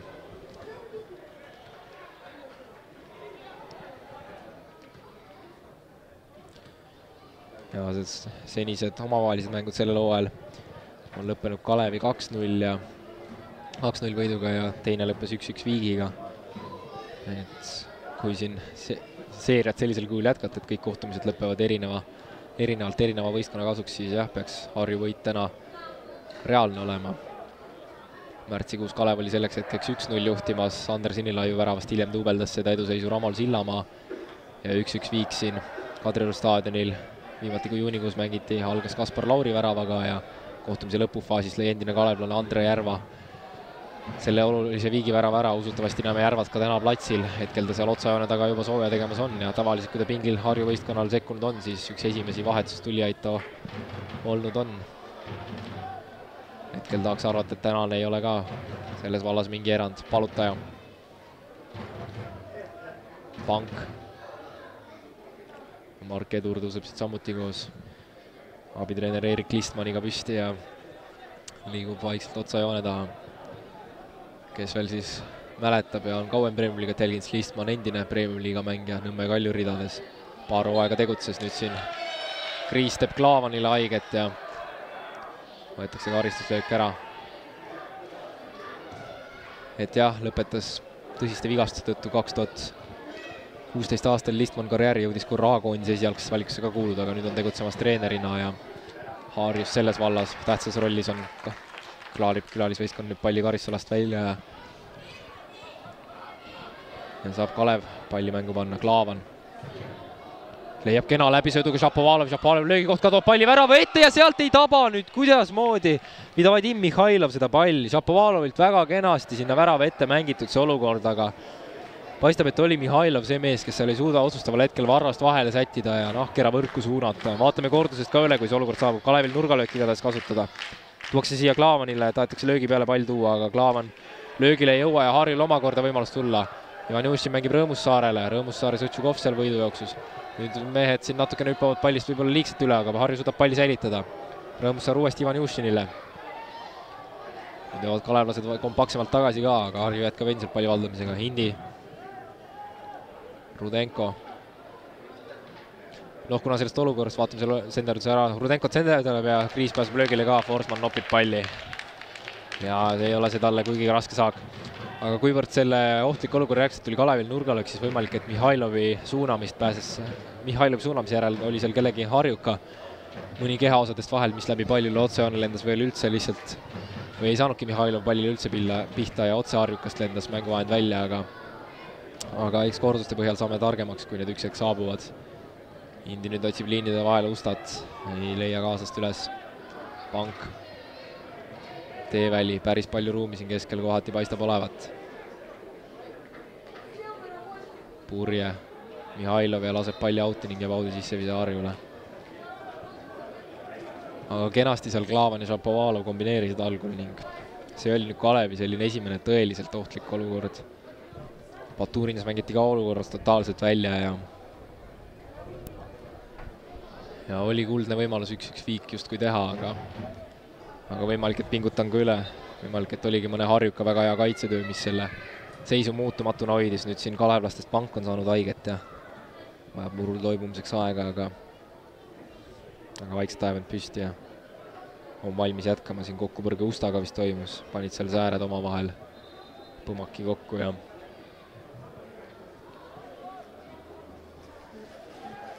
ja nüüd juba läheb kohtumine täie hooga edasi Pank nüüd päris ohtliku söödu paneb siin Forsmanile, aga Forsman saab jala siiski vahele ja ja suudab palli hoida üle otsajoone või siis halvemal juhul isegi väravasse minemast. Sõtšukov.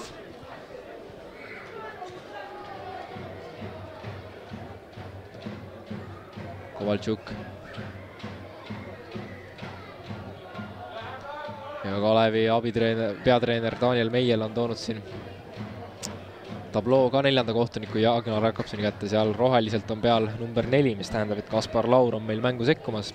kui siin kõik läheb plaanipäraselt, iseasi kelle asemel ja milliseks formatsioon Kalevil seejärel kujuneb, vaatame ära, siit annakse pall karistusalasse, aga ei Kovaltšuk ega Smirnov küündi selleni ja järjekordselt väravalöök harjukatele. Laur seal jah vist vaikselt endale teipi peale panemas on ja usutavasti tagantpoolt või poolkaitsest keegi ära võetakse ja eks saame näha, milliseks see ründeliin siis kujuneb ja kuidas taktikaliselt üritatakse palli pikakasvulise mängijani toimetada. Sõtšukov. Klaavan. Pank. Palutaja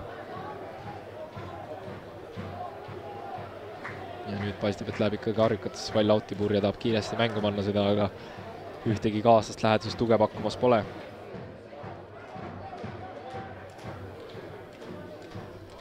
Klaavan. Klaavan oma klassikalise diagonaalpalliga sinna ääre peale Mihhailovit otsib, suudab Mihhailov palli Karissala suunas ka saata, aga aga omasid seal ei leia, Mihhailov eelmises voorus alles oli resultatiivne, kui Transi vastu skoori tegi lõpuminutitel, aga omasid seda üks-kaks kaotusest sellega päästa ei suutnud. Sõtšukov. kaks harjukat tal ümber, Sõtšukov siin korralikult keerutab ja suudab justkui palli säilitada ka, Audi sisse, see Audi sisseviske õigus jääb Kalev, kalevlastel igatahes. ja Laur nüüd ka püsti tõusnud. peatreener Meieli kõrval täieliku torniga tegu on ja vaatame selle olukorra ära, Kalev uuesti karistusalas. Üritatakse palju ära vette ka anda ja lõpuks jääb see karistusaagiks ja number seitse on seal punaselt kirjas, mis tähendab, et Arseni Kovaltšuk tuleb hoopis ääre pealt ära Laur nüüd ääre peale, ei usu küll kuidagi, et läheb. vaatame, kes sinna siis nihutatakse, Sõtšukov. Teeväli. Sõtšukov ja Teeväli olnud väga-väga pikki aastaid omavahel klubikaaslased. Kalevi erinevates noorteklassides koos mänginud ja esinduse eestki samal aastal debüüdi teinud ning sellesse kuulsasse kaks tuhat kolm aasta vanuseklassi koondisesse kuulunud, kes Hispaania, Rootsi, Prantsusmaa alistada suutis ja seal põhiraskust kandnud, nii et igatpidi tublide mängumeestega tegu on. teevälja viis vahepeal tee küll Florasse ja Kuressaarde, aga Sõtšukov on alati Kalevile truuks jäänud ja nüüd aastal kaks tuhat kakskümmend kolm on mehed taas koos. viiekümne seitsmendal minutil teeb Kalev selle vahetuse ära, Arseni Kovaltšuki tööpäev saab läbi, tuleb mees natukene peanorus välja ja Kaspar Laur saab platsile. paistab, et Aleksandr Šapovalov liigub ääre peale ja Kaspar Laur lähebki kas siis koos Purjega kahekesi sinna ette või jääb Purje ikkagi paremale poole ääre peale. Lauri Kades siin keskel möllamas on tipuründaja positsioonil ja Šapovalov saab hakata ääre peal oma jalgu näitama. Harju nüüd tõstab kriisi suunas selle palli ja saab kriis kätte ka. palutajat üritab sõlme ajada ja lõpuks mängib tagant rahulikult läbi. Ja see üritus nüüd, Rudenko läbisööt ei ohusta mitte kedagi Harju, ei leia mitte ühtegi Harju mängijat ja ei ohusta ka kalevlasi ning on puhtalt Forsmani saak.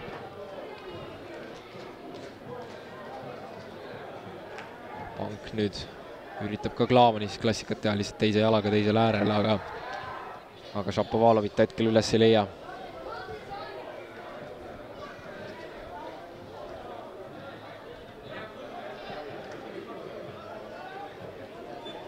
Klaavan, uuesti Sõtšukov põhimõtteliselt on ta senderdamiskoht olemas, Sõtšukov läheb senderdama ka, aga see on Baturinsile kerge saak ja nopib mees esipostist selle palli kahe käega kindlalt. tuleb siit kõrge pall Usta suunas, Usta on täiesti üksi jäänud Kalevi väljaku poolele ja Klaavani kõhuvõitluses jääb pigem ikkagi kaotajaks. ja nüüd jääb karistuslöögi õigus Kalevile.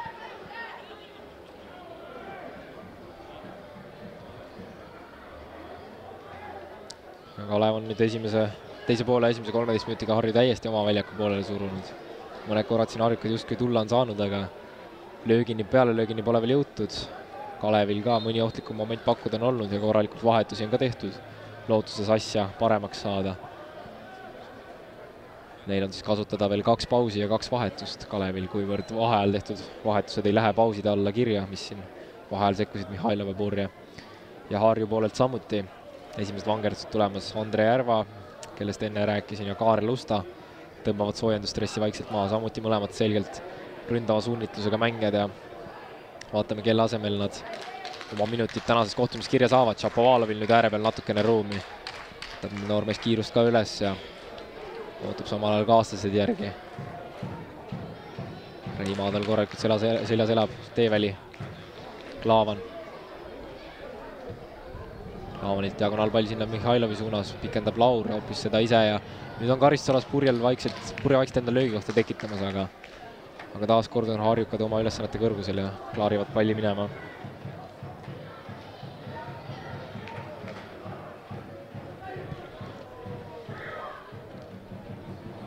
ja Laur taaskord pikendab, aga aga nüüd juba pingpongiks saanud asi seal Harju Karissalas kulmineerub samamoodi.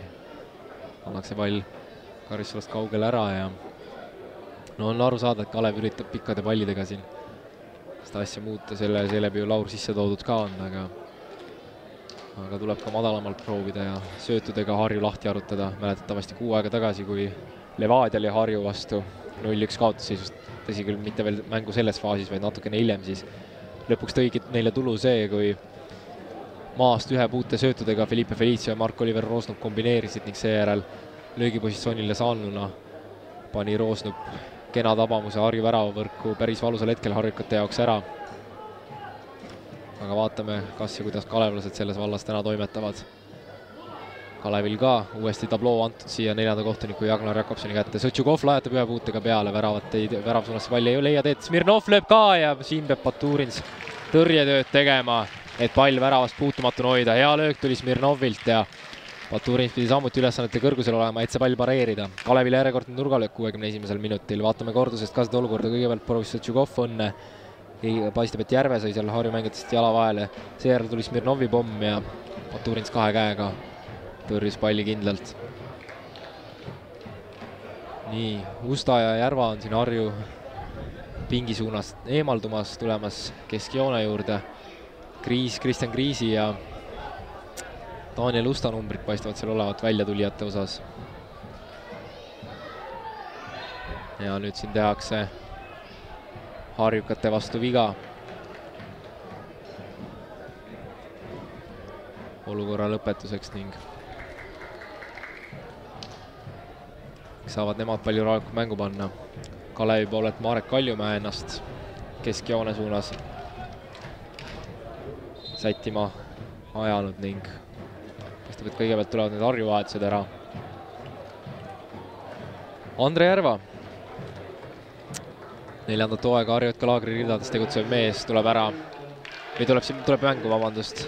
Kristjan Kriis, kes saab publikult maarulise aplausi osaks Harju leeri poole pealt ja Daniel Usta, kelle tänane tööpäev jäi natukene võib-olla nähtamatuks, märkamatuks, ei ole mees ise ka rahul sellega ja tema vend Kaarel Usta platsile. Marek Kaljumäe tuleb mängu ja Roman Smirnov, kes siin mõni minut tagasi hea löögiga hiilgas, saab puhkama kuuekümne kolmandal minutil.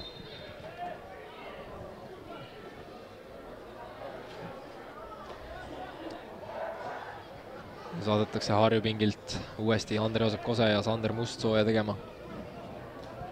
aga natukene ebanõeline, ebatõenäoline tundub, et emb-kumb neist sekkumas oleks. samas Raia nüüd Leial, Reima, Ivanjušin, Rõõmussaar, Indi.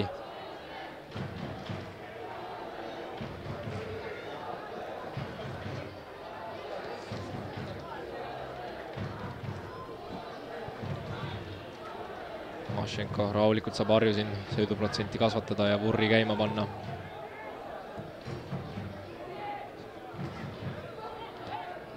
otsib läbisööduga Kaarel Ustat, aga jõuab see pall hoopis Rudenkoni, Rudenko on ka tuntud hea löögiga. Rudenko paneb parema jalaga peale, aga see pall Kalevi väravat ei ohusta ja lendab pigem sinna Lasnamäe suunas. utsitab Usalifo see Indi ka ukrainlast, et pole hullu, tasub proovida, järgmine kord läheb paremini. pealelöökide, pealelöögina see asi kirja läheb, aga ei enamat. positsioon tegelikult peale virutamiseks oli suhteliselt soodne, aga aga hetkel jah, ikkagi midagi kuigi ohtlikku siit ei sündinud. Kaarel Usta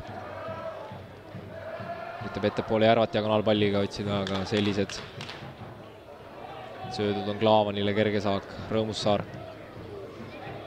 Ivan Jušin. tuleb siit selline natukene ebatäpne tsenderdus ja ei saa siin ei Järva ega Kaarel Usta seda palli kuidagi omaks.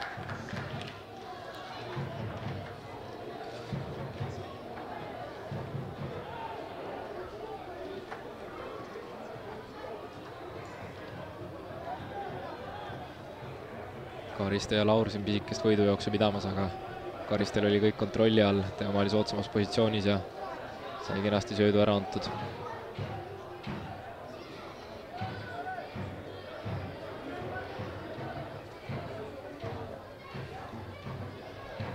Mašenko.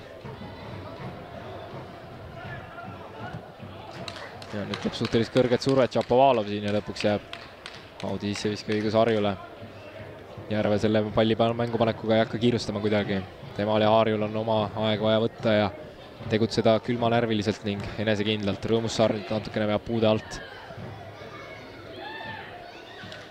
üritavad siin kalevlased veel läbisöödule omasid mängida, aga aga jääb taaskord vajaka. Harju kaitseliin on püsinud hästi selle teise poole esimese kahekümne minutiga, vaatame siin olukorras ka ikkagi saab Baturins mänguvahendi lõpuks kätte ja rahulikult palub omadel koopereeruda vastavalt positsioonidele ning seejärel saab ta ka palli mängu panna, mida ta nüüd teeb. et jah, et Harju kaitseliin on siiamaani väga eeskujulikult selle surve teisel poolajal ära kannatanud ja vastu pidanud. aga minna veel on ja tööd on vaja teha, et võidupunktid kirja saada, milles hetkel kinni ollakse skoori põhjal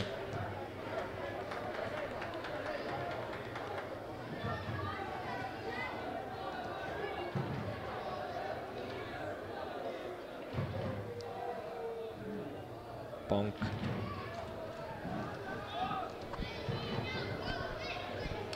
Sutšukov.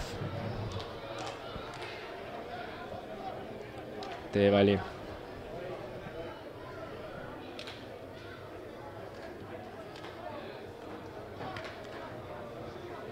taaskord Harju oma väljaku poolele täiesti surutud ja nüüd tuleb siit niisugune diagonaalpall ka Karissalu suunas, Vadim Mihhailov nopib selle Karissalu ääres, tuleb parema häälega madal pall Karissalasse ka, aga ükski kalevlane selle jalga vahele ei saa, palutaja. Ja see pall on taas kord Baturinsi jagu. kõik kõrged pallid, mis sinna Baturinsi suunas hetkel teele on pandud, on siiski lätlasest kindlamehele võrdlemisi kerge saak olnud, mõne korra on ta pidanud ka rusikaga noh, kera ära lööma, aga aga pallide püüdmisel on ta kindel olnud ja teisel poolel seeläbi saanud kenasti käsi soojas hoida ja püüdmisoskust demonstreerida. Harju on kõik oma vahetusmängijad nüüd sooja saanud tegema, vaatame selle olukorra ära, teeväli siin soleerib karistusalas ja paneb parema häälega tõste ka penaltipunkti suunas, Purje nopib lahtise palli. Sõtšukov löögikoht on olemas, parema häälega tuleb väga hea pomm ja nüüd jätkuolukord ja Ats Purje ei pääse sealt ikkagi korralikult löögile suurepärane üritus Danil Šotšukovilt, Ivan Spaturins on taas kord ülesannete kõrgusel ja jätkuolukorras ei saa Ats Purje korralikult palli tabatud. Järjekordne hea šanss Kalevile, aga olukord pole veel läbi, tuleb pall uuesti karistusalasse ja nüüd pannakse ikka täielikku turmtuld siin Harju värava suunas ja lõpuks klaarivad ikkagi külalisvõistkonna mängijad selle palli kaugemale ära. vaatame kordusest ka, Sotšukov tuli teisest lainest ja pani hea kuuli ja paistab, et Karist oli see mees, kes seal päris otsustavalt ikkagi, kui niimoodi väljendada, sekkus ning Purje eest palli ära lõi. nüüd siin tehakse Reimaa vastu viga ja saavad harikad jälle oma aja võtta, et karistuslöögist pall mängu panna.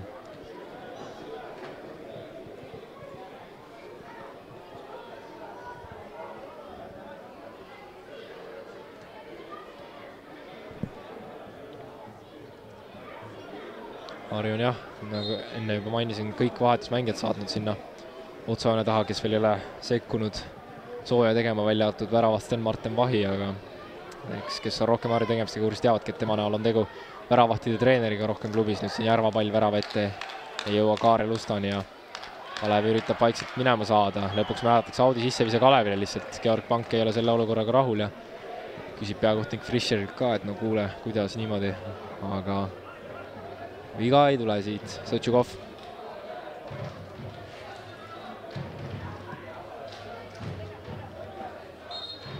ja nüüd patustab Indi teevälja vastu. pank. Kalevi mängust on näha ilmselgelt niisugust mitte kiirustamist, aga rutakust, et kohe, kui pall nende lahti mängida jääb, siis tehakse seda võrdlemisi käbedalt ja eks see ole ka mõistetav. Audi sissevisked, karistuslöögid, väravalöögid, kõik muu on vaja nüüd mängu edenedes aina kärmemalt mängu panna. pangilt niisugune keskmise kõrgusega pall teevälja peale. teeväli suudab säilitada ka seda, Indi tal elab korralikult seljas ja ei võta peakohtunik Fischerilt Kalevi kasuks viga. Kalevile jääb palli valdamine. Sõtšukov tuleb siit hea tsenderdus, Laur ja Mihhailov seal ei suuda ära leppida, kumb, kumb läheb palli peale otsustavalt. Laur justkui oli minemas, jättis mineku poolikuks ja tagant tulnud Mihhailov ei jõudnud ka otsustavalt olukorda sekkuda. aga see, aga Sõtšukovi puhul tasub ära mainida ka see, et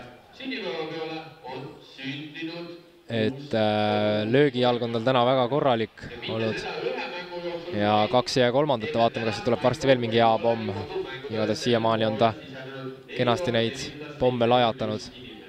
Kalevi klubi rekord aastast kaks tuhat üheksateist, see siis taasasustatud Kalevi oli neli tuhat viissada kolmkümmend. nüüd siit tuleb tsenderdus Karissaare suunas ka, pall on taaskord ohtlikult lahti, aga ei saada löögile. ja siit see pall värava suunas on puhtalt Baturinsi jagu, mille Klaavan annab niimoodi, et hooaeg pole veel, et kuus mängu on veel minna, nii et palun üks suur-suur aplaus iseendale. Baturins ei kiirusta palli mängu panekuga ja ja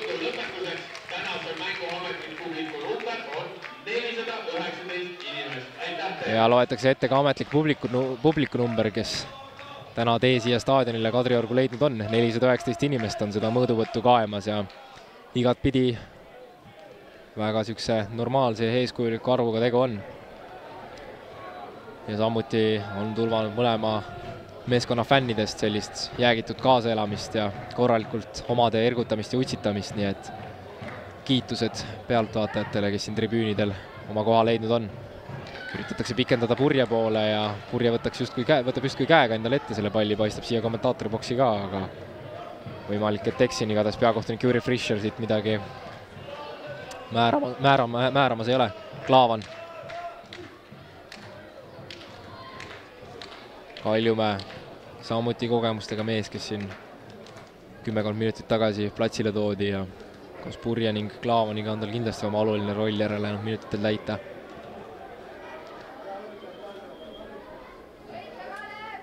Rõõmussaar üritab siin äärt vahetada Ivanušinile, päris hea pall tuleb, Ivanušin saab selle korralikult maha ka ja nüüd on Harjul põhimõtteliselt rünnaku võimalus tekkimas, Reimann nopib pindi eest palli ja oli siin paremal äärel. Ivanušinil vaba tsoon tekkimas, kuhu minna ja spurtida, aga Reima suund oli valele poole ja värava suunas mees lidus ning ühes sellega potentsiaalne rünnakuvõimalus sumbus. Indi pakub uuesti sööduliini Ivanušinile, Reima uuesti Indi üritab siin äärevahetust Rudenkole anda palli, Rudenko saab kenasti selle maha ka, natukene läks tallalt läbi ja palutajat uuesti ette võtmas on, aga nüüd jääb palutaja esimest korda peale. avapoolel kahel korral Rudenko seal tegi palutajale kenasti uut ja vana, millest ühes olukorras tuli ka värav, kui noormees andis söödu Kriisile, kes olukorra meisterlikult ära realiseeris, aga aga nüüd oli palutaja ülesannete kõrgusel. löögivõimalus siin Harjul ja pannakse peale ka, aga Oskari Forsman on samuti valvel, Kaarel Usta siit. Õnne proovis, aga hetkel, hetkel ei saada teist väravat veel kätte. uuesti Kaarel Usta. on Indi. mängib siia ääre poole Reimale palli, Reima ja Klaavan korralikult võitluses ja lõpuks jääb Audi sissevise Kalevile Klaavan paneb korralikult teha, keha, Harju publik ei ole selle otsusega rahul ja viib niivõrd edukalt kalevlaste vaatevinklist Reima tasakaalust välja, et pall läheb veel viimase puutest üle küljejoone ning ning nüüd juba tullakse vaikselt söötudega uuesti ise. palutaja.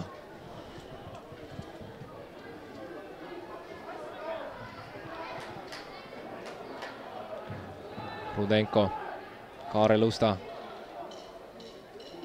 ja siin võtab kenasti teevälja ette ning tekitab endale natukene ruumi. teeväljal ka väga korralik töömootor, aga usutavasti juba vaikselt aurude pealt tuleb hakata laskma. kui siin minutid edenevad ja niimoodi musta tööd tuleb keskväljal rassida ning samal ajal ka väravat püüda. Šapovalov. kena diagonaal, diagonaalpall ettepoole Vadim Mihhailovile. tema veel nii aurude peal olla ei tohiks, Laur jätkab Šapovalovile, Šapovalov karistalasse ka jõudnud, aga ei saa sealt korralikult löögile ja nüüd on löögikoht, Šapovalov lajatab peale ja Baturin siis selline ühe käe tõrje ja nüüd paneb Ats Purje seitsmekümne viiendal minutil jätkuolukorras selle palli ikkagi ära.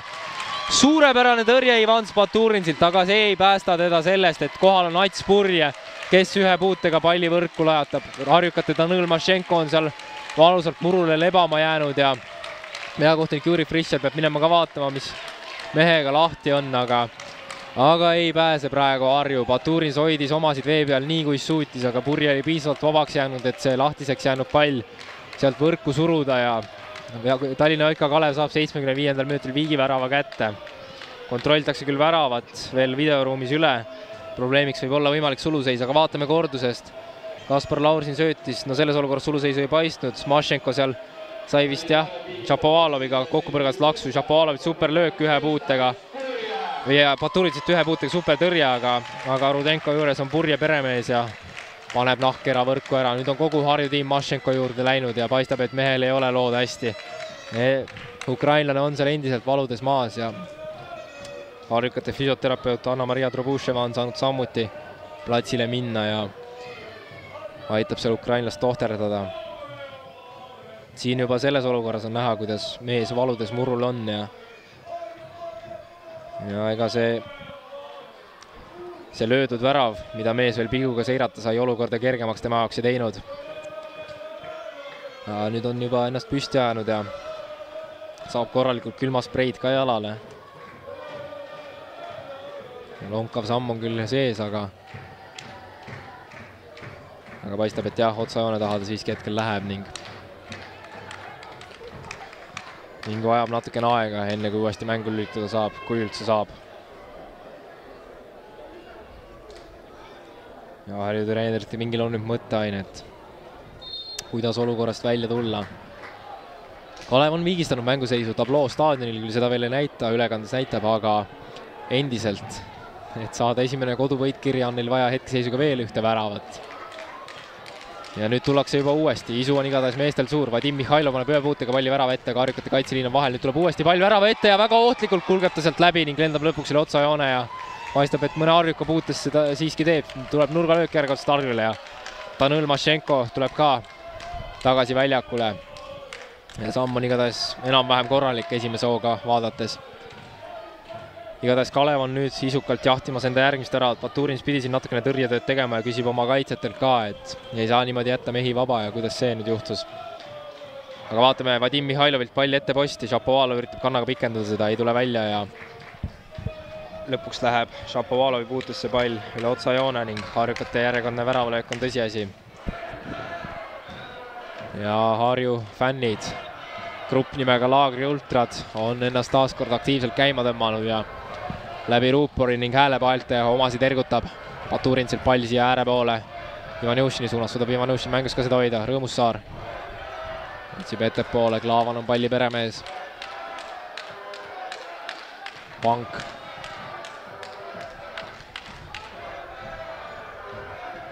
palutaja.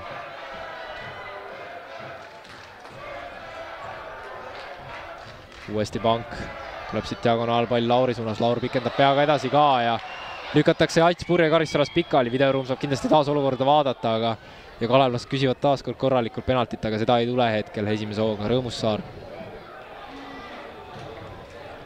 ja kalevlased on hetkel marulist survet üritamas peale panna. et siit ikkagi midagigi vähemalt kätte saada, Forsman natukene puterdab puutega, aga midagi ohtlikku siit ei sünni. Rudenko, Indi neli harjukat rünnakule lülitamas on Andre Järva. korralikult tal seal Sotšukov selamas on, vabandust, Klaavan. ja kalevlased jõuavad vaikselt tagasi oma positsioonidele organiseeritult liikuda. Rudenko saab kenasti tehnikat näidata ja justkui poeb välja ka ja lõpuks tehaksegi talle olukorra kulminatsiooniks viga seitsmekümne üheksandal minutil. harjukate pingi pealt on püsti tõusnud Mark Edur tema saab siin viimased kümmekond pluss minutit väljakul hullama ja möllama hakata. vaatame, kes tema asemel välja tuleb. tabloo numbritega näitab, et Reinhard Reimaa kaheksakümmend kaheksa on punaselt seal ära märgitud. ehk siis põhimõtteliselt võiks tegu olla otsese vahetusega. ja tundub, et kohe see vangerdus ka ära tehakse. Reimaa siin kiirel sammul pingi suunas jookseb ja Eduril on vaja nüüd korralikult tööd teha need järelejäänud minutid, et omadele kas või viigipunkt ära päästa.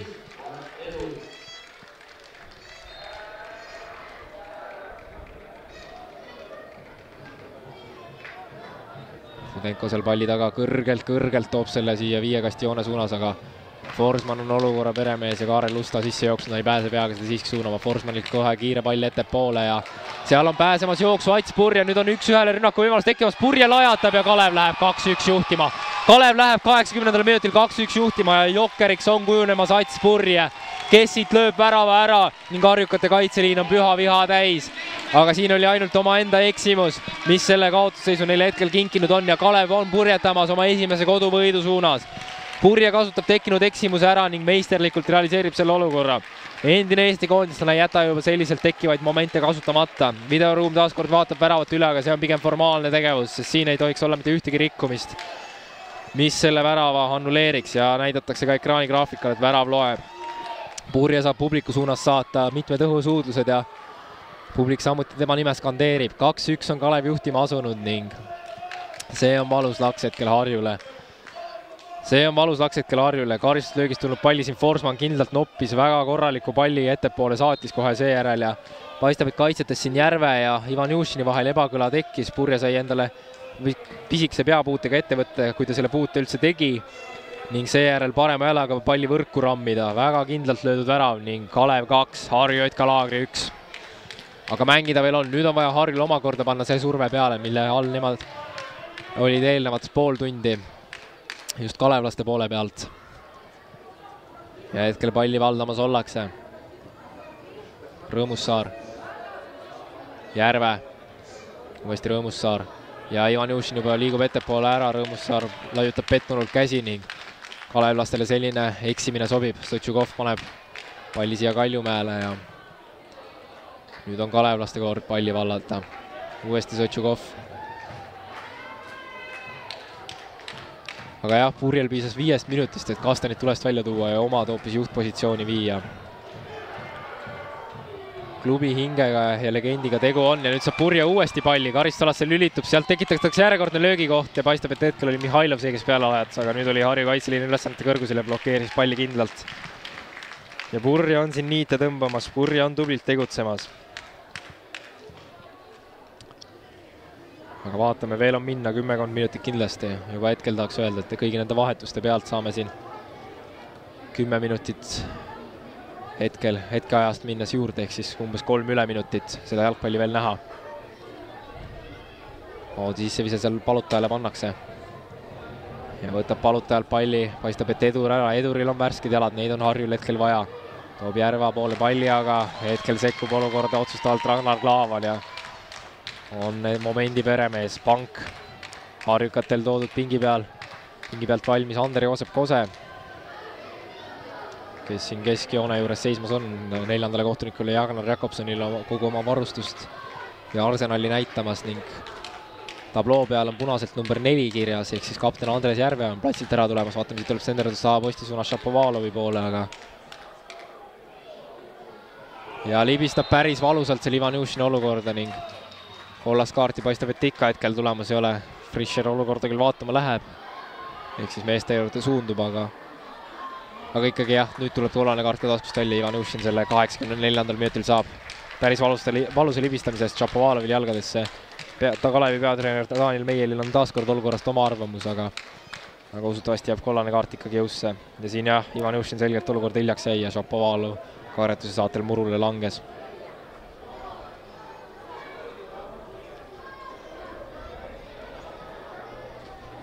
ja siin siis suures pildis näha kaks tuhat kuus aastal sündinud Ander-Joosep Koset, kes mängu valmis sekkumas on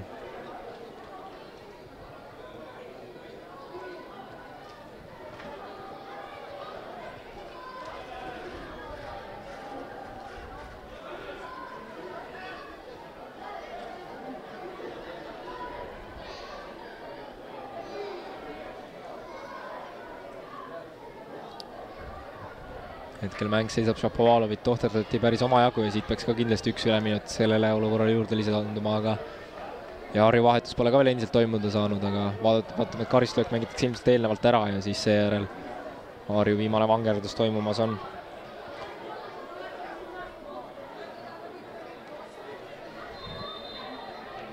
Mihhailov palli taha ennast sättinud, tuleb siit niisugune kõrge pall tahaposti suunas ja päris ohtlikult kerib ka, aga läheb siiski otsejoones üle värava ja Baturins palub nüüd, palub nüüd kiirelt palli ka, et see mängu panna ja hetkel see Harju vahetus esimese hooga ära tehakse, enne kui Tanak era mängu panna saab. Andrei Osep Kose kaheksakümne viiendal minutil kohtumisse sekkub ja eelnevalt nägin seal Andres Järve numbrit ja nii on, Andres Järve on siit kohe riietusruumis uumumas, saab kenasti üle küljejoone tulla ning duši alla suunduda. Janjušin, Kaarel Usta, Rõõmussaar, päris korraliku pauguga pannakse Šapaloviga jalad kokku, Šapalov pääseb liduma ka ja Mašenkoga võidujooksul peab Šapalov, näitab kiireid jalgu, kukub ja peakohtunik Juri Frischer on juba nagu vilet ka suhu panemas, aga aga seda siiski ei tee, Kalevi fännid on marus ja küsivad, kuidas niimoodi, aga mäng läheb täie hooga edasi. Järvak, Pank, Forsman seal kõik võidujooksus, Forsman klaarib palli kaugele ära. harjukate rünnakuvõimalus jätkub. Üritatakse siin Kaarel Ustat ettepoole leida, ei tule välja, purje.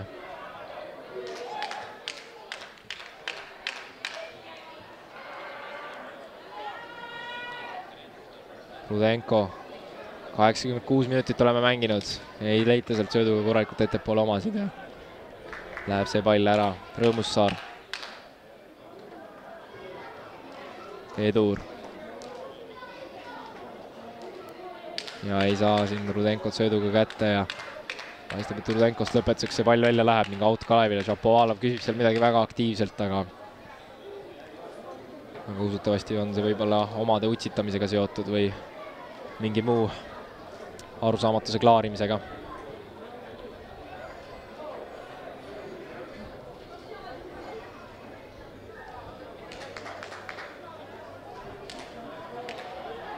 Ja siit otsitakse veel ettepoole uuesti käike, Šapovalov. kiireid jalgu ta näitamas on, murrab Karissalasse parema jalaga, lööb, aga Baturins on taas kord valvel ja võtab kindlalt palli ära kui ühte harjukat täna tõesti teiste seast esile tõsta, siis on see Baturins olnud, kellel väravate olukorras polnud midagi teha, aga kes samal ajal püüete ja tõrjetega on siiski omasid niimoodi pinnal suutnud hoida, kuidas võimalik. aga veel on minna, veel on tal vaja võib-olla neid tõrjeid ja oma pareerimisoskust näidata. pank.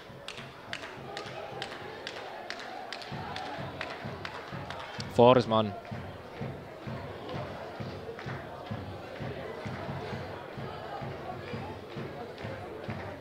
siin palutaja ja pank esimese hooga kohe ei suuda ära rääkida, kes palli millal võtab, aga midagi ohtlikku siit ka esimese hooga ei sünni. Baturins.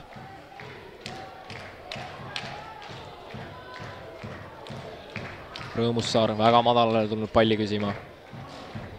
üritab nüüd vaikselt tasapisi tõustes ettepoole liikuda. Annab Karistele kõrvale.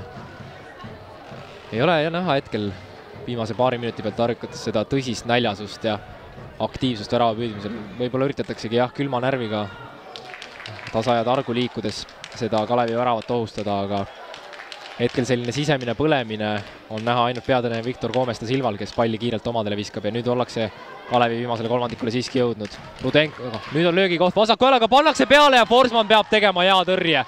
Forsman peab ka tooma oma arsenali välja sarnaselt Baturinsile ning pareerib selle palli kindlalt ja lõpuks mängib Kalev kaitses niivõrd edukalt, et jääb väravalöök soomlasest puurilukule. aga see oli nüüd hea võimalus Harjul ja kohe, kui löögikoht oli, siis tuli see šanss ka ära kasutada ning Forsman näitab, et temal on samuti hüppevõimalus endiselt hea ja kätega saab selle palli tõrjutud, kui vaja.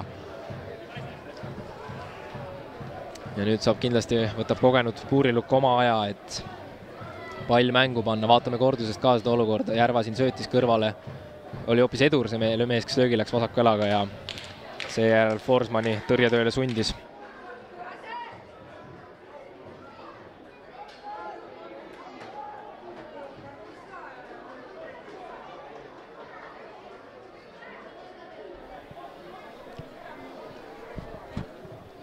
Ja harjukud vaikselt uuesti tulemas, Kalevi väljaku poolele jõutud on ja esimese hooga ei saada päris korralikult tulema.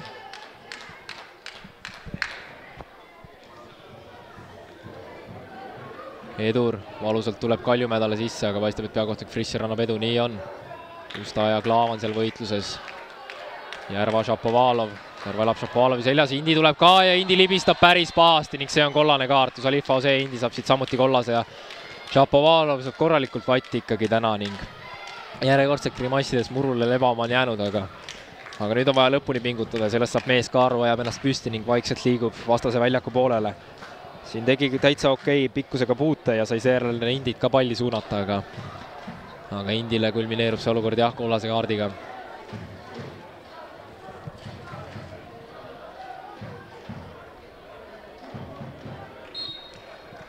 Sutšukov ja kolm üleminutit on antud sellele kohtumisele, neljanda kohtuniku Jagnar Jakobsoni tabloo seda näitab ja vaatame, kas ollakse veel millekski väga vingeks võimelised. Kaljumäe paneb läbi söödu Šapovalovile ja nüüd on põhimõtteliselt vormistamise koht Šapovalov parema jalaga, aga saadab mitme meetri jagu selle palli siiski väravast mööda. on ka kahekümne aastase mängumehe jalad ilmselt niivõrd väsinud, et ei tulnud siit sellist võimal-, sellist realiseerimist, nagu ta ise oleks kaugeltki eeldanud ja ennatlikult juba rääkisin, et põhimõtteliselt ole mees ja löö olukord ära, aga Šapovalov näitas, et ei olnud see nii kerge midagi ja saatis hetkel palli siiski väravast mööda. väga hea läbisööduga ta jooksma vabastati ja seejärel sai võimaluse ka ise skoori teha, aga natukene jääb antud olukorras siiski puudu.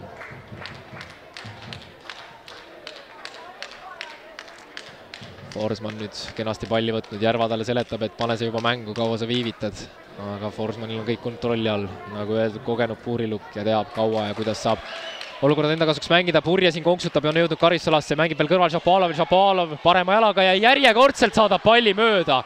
Uskumatu praegu, kuidas Aleksandr Šapovalov ühe minuti jooksul on kaks võimalust raisanud. Purje murdis karistusalasse, sai, jättis kaks meest selja taha, andis kõrval Šapovalovile ilmselt mõttega, et ole mees, löö nüüd ära. aga ei, Šapovalov näitas taaskord, et ei olnud see talle kerge ülesanne ja sai siin veel isegi ühe puute teha, palli endale ette võtta ja seejärel noh, ei ole see Šapovalovi parimate päevade tase kuidagi, mida ta siin viimases kahes olukorras näidanud on. pall järjekordselt raamidest mööda lendab nüüd võtab kenasti ette ja viib diagonaalpalli Vadim Mihhailovile, see oli hea pall Šapovalovilt, Mihhailov suunab ja, ja lööb samuti palli mööda. praegu on Kalev ikkagi väga korralikult Harju väravale survet avaldamas, aga täpsusest ja kliinilisusest jääb puudu, üheksakümne teisel minutil siin Mihhailov kenasti rünnata sai ja see pall oli Šapovalovilt väga korralik, mis otseselt niimoodi väravat ei ohustanud, aga paistab, et Mihhailovi löögil oli ka pisike rikošett sees ja nurgalöök Kalevile sobib, minut on jäänud mängida ja nemad saavad võtta oma aja, et see pall mängu panna ilmselt siin nurgalipu juures nüüd toimetama asutakse. Mihhailovilt uuesti pall Karissala suunas. Kaljumäe toob ühe puutega ettepoole, Karistel kõlab peaga minema ja Indi lööb ka puhtaks. Ja üritatakse veel pikendada Šapovalovile, Šapovalov libastub ka natukene ja ei saa Kalevi rünnakust asja. palutaja peksab palli puhtaks. pool minutit on jäänud, võib-olla natukene rohkem, aga seda teab ainult peakohtunik Juri Fischer hetkeseisuga Baturinsil ja Harjul on nüüd kiire, Baturinsilt niisugune keskmise kõrgusega pall, pank peaga vahel. ja Ander Joosep Kose suudab palli mängus hoida, Šapalov võtab ta maha ja paistab, et kaarti siit igatahes ei järgne, Laagri ultrad ehk siis see Harju põhiline fännigrupp korralikult ruuporisse igasugust huvitavat, huvitavat terminoloogiat karjub, aga, aga eks see olegi fännluse üks osa, kelle, kellele, kelle maitsele vastav, kellele mitte, igatahes tõsiasi on see, et Harjul on kasutada üks viimaseid võimalusi, karistuslöök siit küljejoone juures, mida Kaspar Rõõmussaar toimetama läheb. parema jalaga tuleb siit kuueteistkasti joone peale pall ja selle paneb nüüd Kalev puhtaks ja tõsiasi on see, et kohtumise lõpuvile on kõlanud ning Kalev on saanud esimese koduvõidu kätte siin septembrikuus. jäädi null-üks kaotusseisu avapoolajal Kristjan Kriisi värava läbi, aga teiseks pooleks toodi sisse Jokker Ats Purje, kes viie minutiga kaks väravat lõi ja omadele kaks-üks võidu sellega tõi. Harju mehed peavad pettunult maha istuma jääma, aga Kalevil on pidupäev. täna oli sünnipäev ja täna on ka mängutulemuse mõttes pidupäev, nii et igatpidi on paslik täna tähistada nendel mängijatel. mina siit otsepuldist tänan, lähme vaatame, kas saame natukene järelkaja ka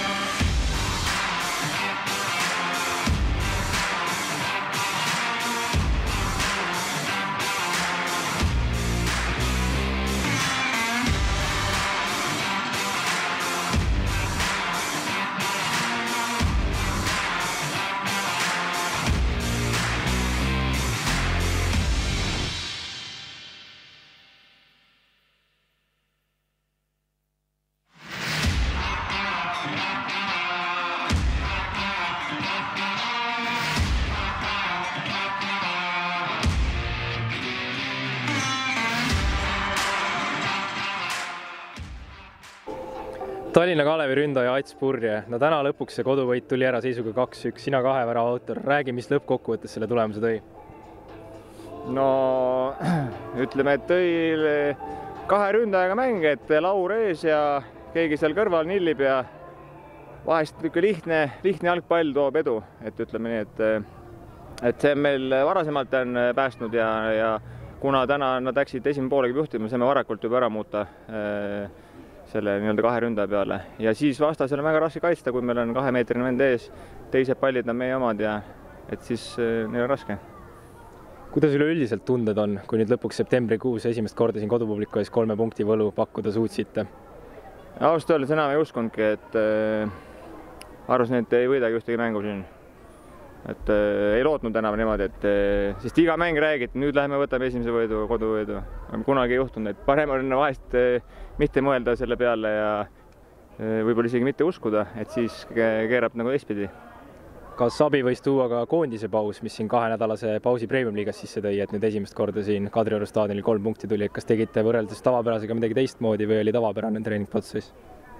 tava, tavapärane protsess, paljud olid U kahekümne ühe koondises Klaavan käis ka ära, et teised tegid kõvasti trenni.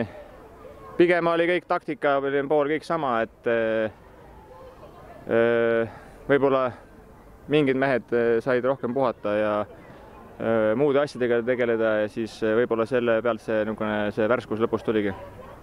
järgmine kohtumine võõrsil Tallinna FC Floraga, noh, tsiteerides klassikuid, siis siit on vist hea edasi minna ja järgmist kolme punkti püüda ei, ei mõtle praegu midagi, et praegu just mäng lõppes, et natuke aega naudime seda võitu, et siis, kui uus nädal algab, siis hakkame valmistuma järgmiseks mänguks, et praegu seda Flora poole ei ole mõtet vaadatagi. Super, Ats, ma tänan ja soovin palju edu. aitäh teile ka. ja tuleb meie juurde ka Harju Jutka laagri eest debüüdi algkoosseisus teinud ja debüütvärava löönud Kristjan Kriis. tere, Kristjan! räägi sina siis sellises võtmes, et millest täna lõpuks ikkagi puudu jäi? no peamiselt see, et teisel poolel jäime suure surve alla, vaatasin ise ka riie-, siis kui ma läks riietusruumi pessu, siis vaatasin mängu ja tundus, et mingi hetk sealt peab ära tulema, aga isegi kaua suutsime hoida seda puuri kinni, aga noh, kahjuks läks nii, nagu läks. vaheajale läksite sellise klassikalise riietusruumi värava pealt, mida poole ajal poiste ja treeneritega rääkisite, et teisel poolel võib-olla veel paremini teha või millest kinni hoida? no peatreener rääkis, et tuleb ikka oma mängu edasi mängida, et kõik endast anda väljakul, et et seis jääks selline, et taga tuleb kindlasti null hoida, aga noh, läks nii kahjuks. aga kui natukene positiivsema poole pealt võtta, siis debüüt algkoosseisus ja kohe ka värav, kuidas selles osas tunded on, ma usun, et midagi ikkagi on, mis kaasa võtta? no eks see on kindlasti suur rõõm ja eks on mu au esindada Harjut põhikoosseisus ja kohe esimene värav ka, aga ma olen, ma olen tänulik, et ma sain selle võimaluse milline teie koondise paus välja nägi, kas oli tavapärane treeningtöö või oli ka midagi erinevat võrreldes tavapärase protsessiga? no seekord oli lihtsalt treeninglaager, et äh, Tallinnas Lillekülas tegime trenne ja mängisime omavahel U19 koondisega, siis äh, ootame U19 EM valikturniiri, mis toimub siis Prantsusmaal. järgmine mäng Transiga, milliste mõtetega läheb Harju meeskond sellele kohtumisele vastu? ah, eks see on mäng nagu ikka, peame võitma peame ennast kuidagi välja ronima äh, tabeli lõpust ja läheme ikka sajaga peale super, Kristjan, ma tänan ja soovin ainult palju edas-, edaspidiseks. Nonii, sellised olid need järelkaja jutud siit Kadrioru staadionilt. aitäh, et ülekannet jälgisite, vaadake ikka sokkernet.ee-d, mina olen Mikk-Hendrik Kelder ning soovin teile ilusat õhtu jätku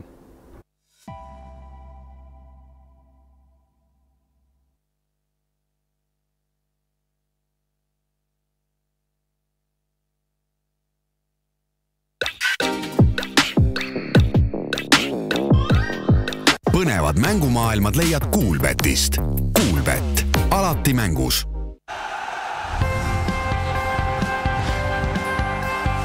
Eesti koondise peatoetaja on LHV Pank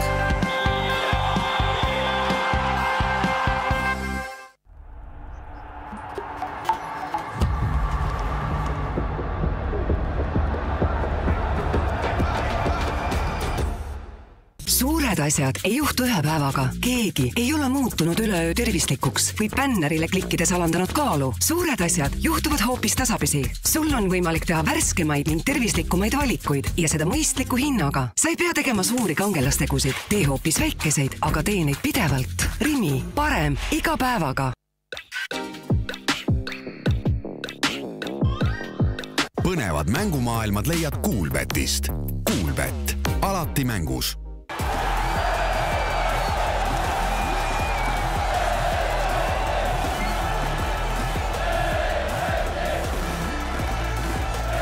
Eesti jalgpall saab toetuda meie õlule.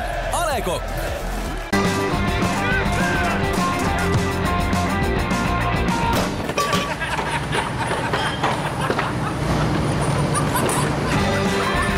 tõmbame mängu käima. rendiseadmed Pramirendist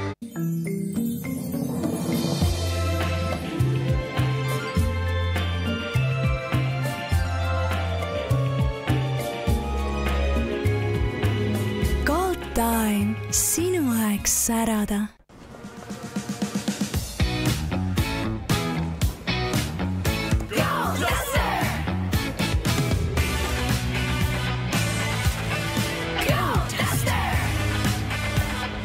Dacia Duster alates kümne tuhande kolmesaja üheksakümnest eurost. ostes nüüd Dacia, saad talverehvid kingiks kaasa. abc Motors, Eesti Jalgpalliliidu ametlik autopartner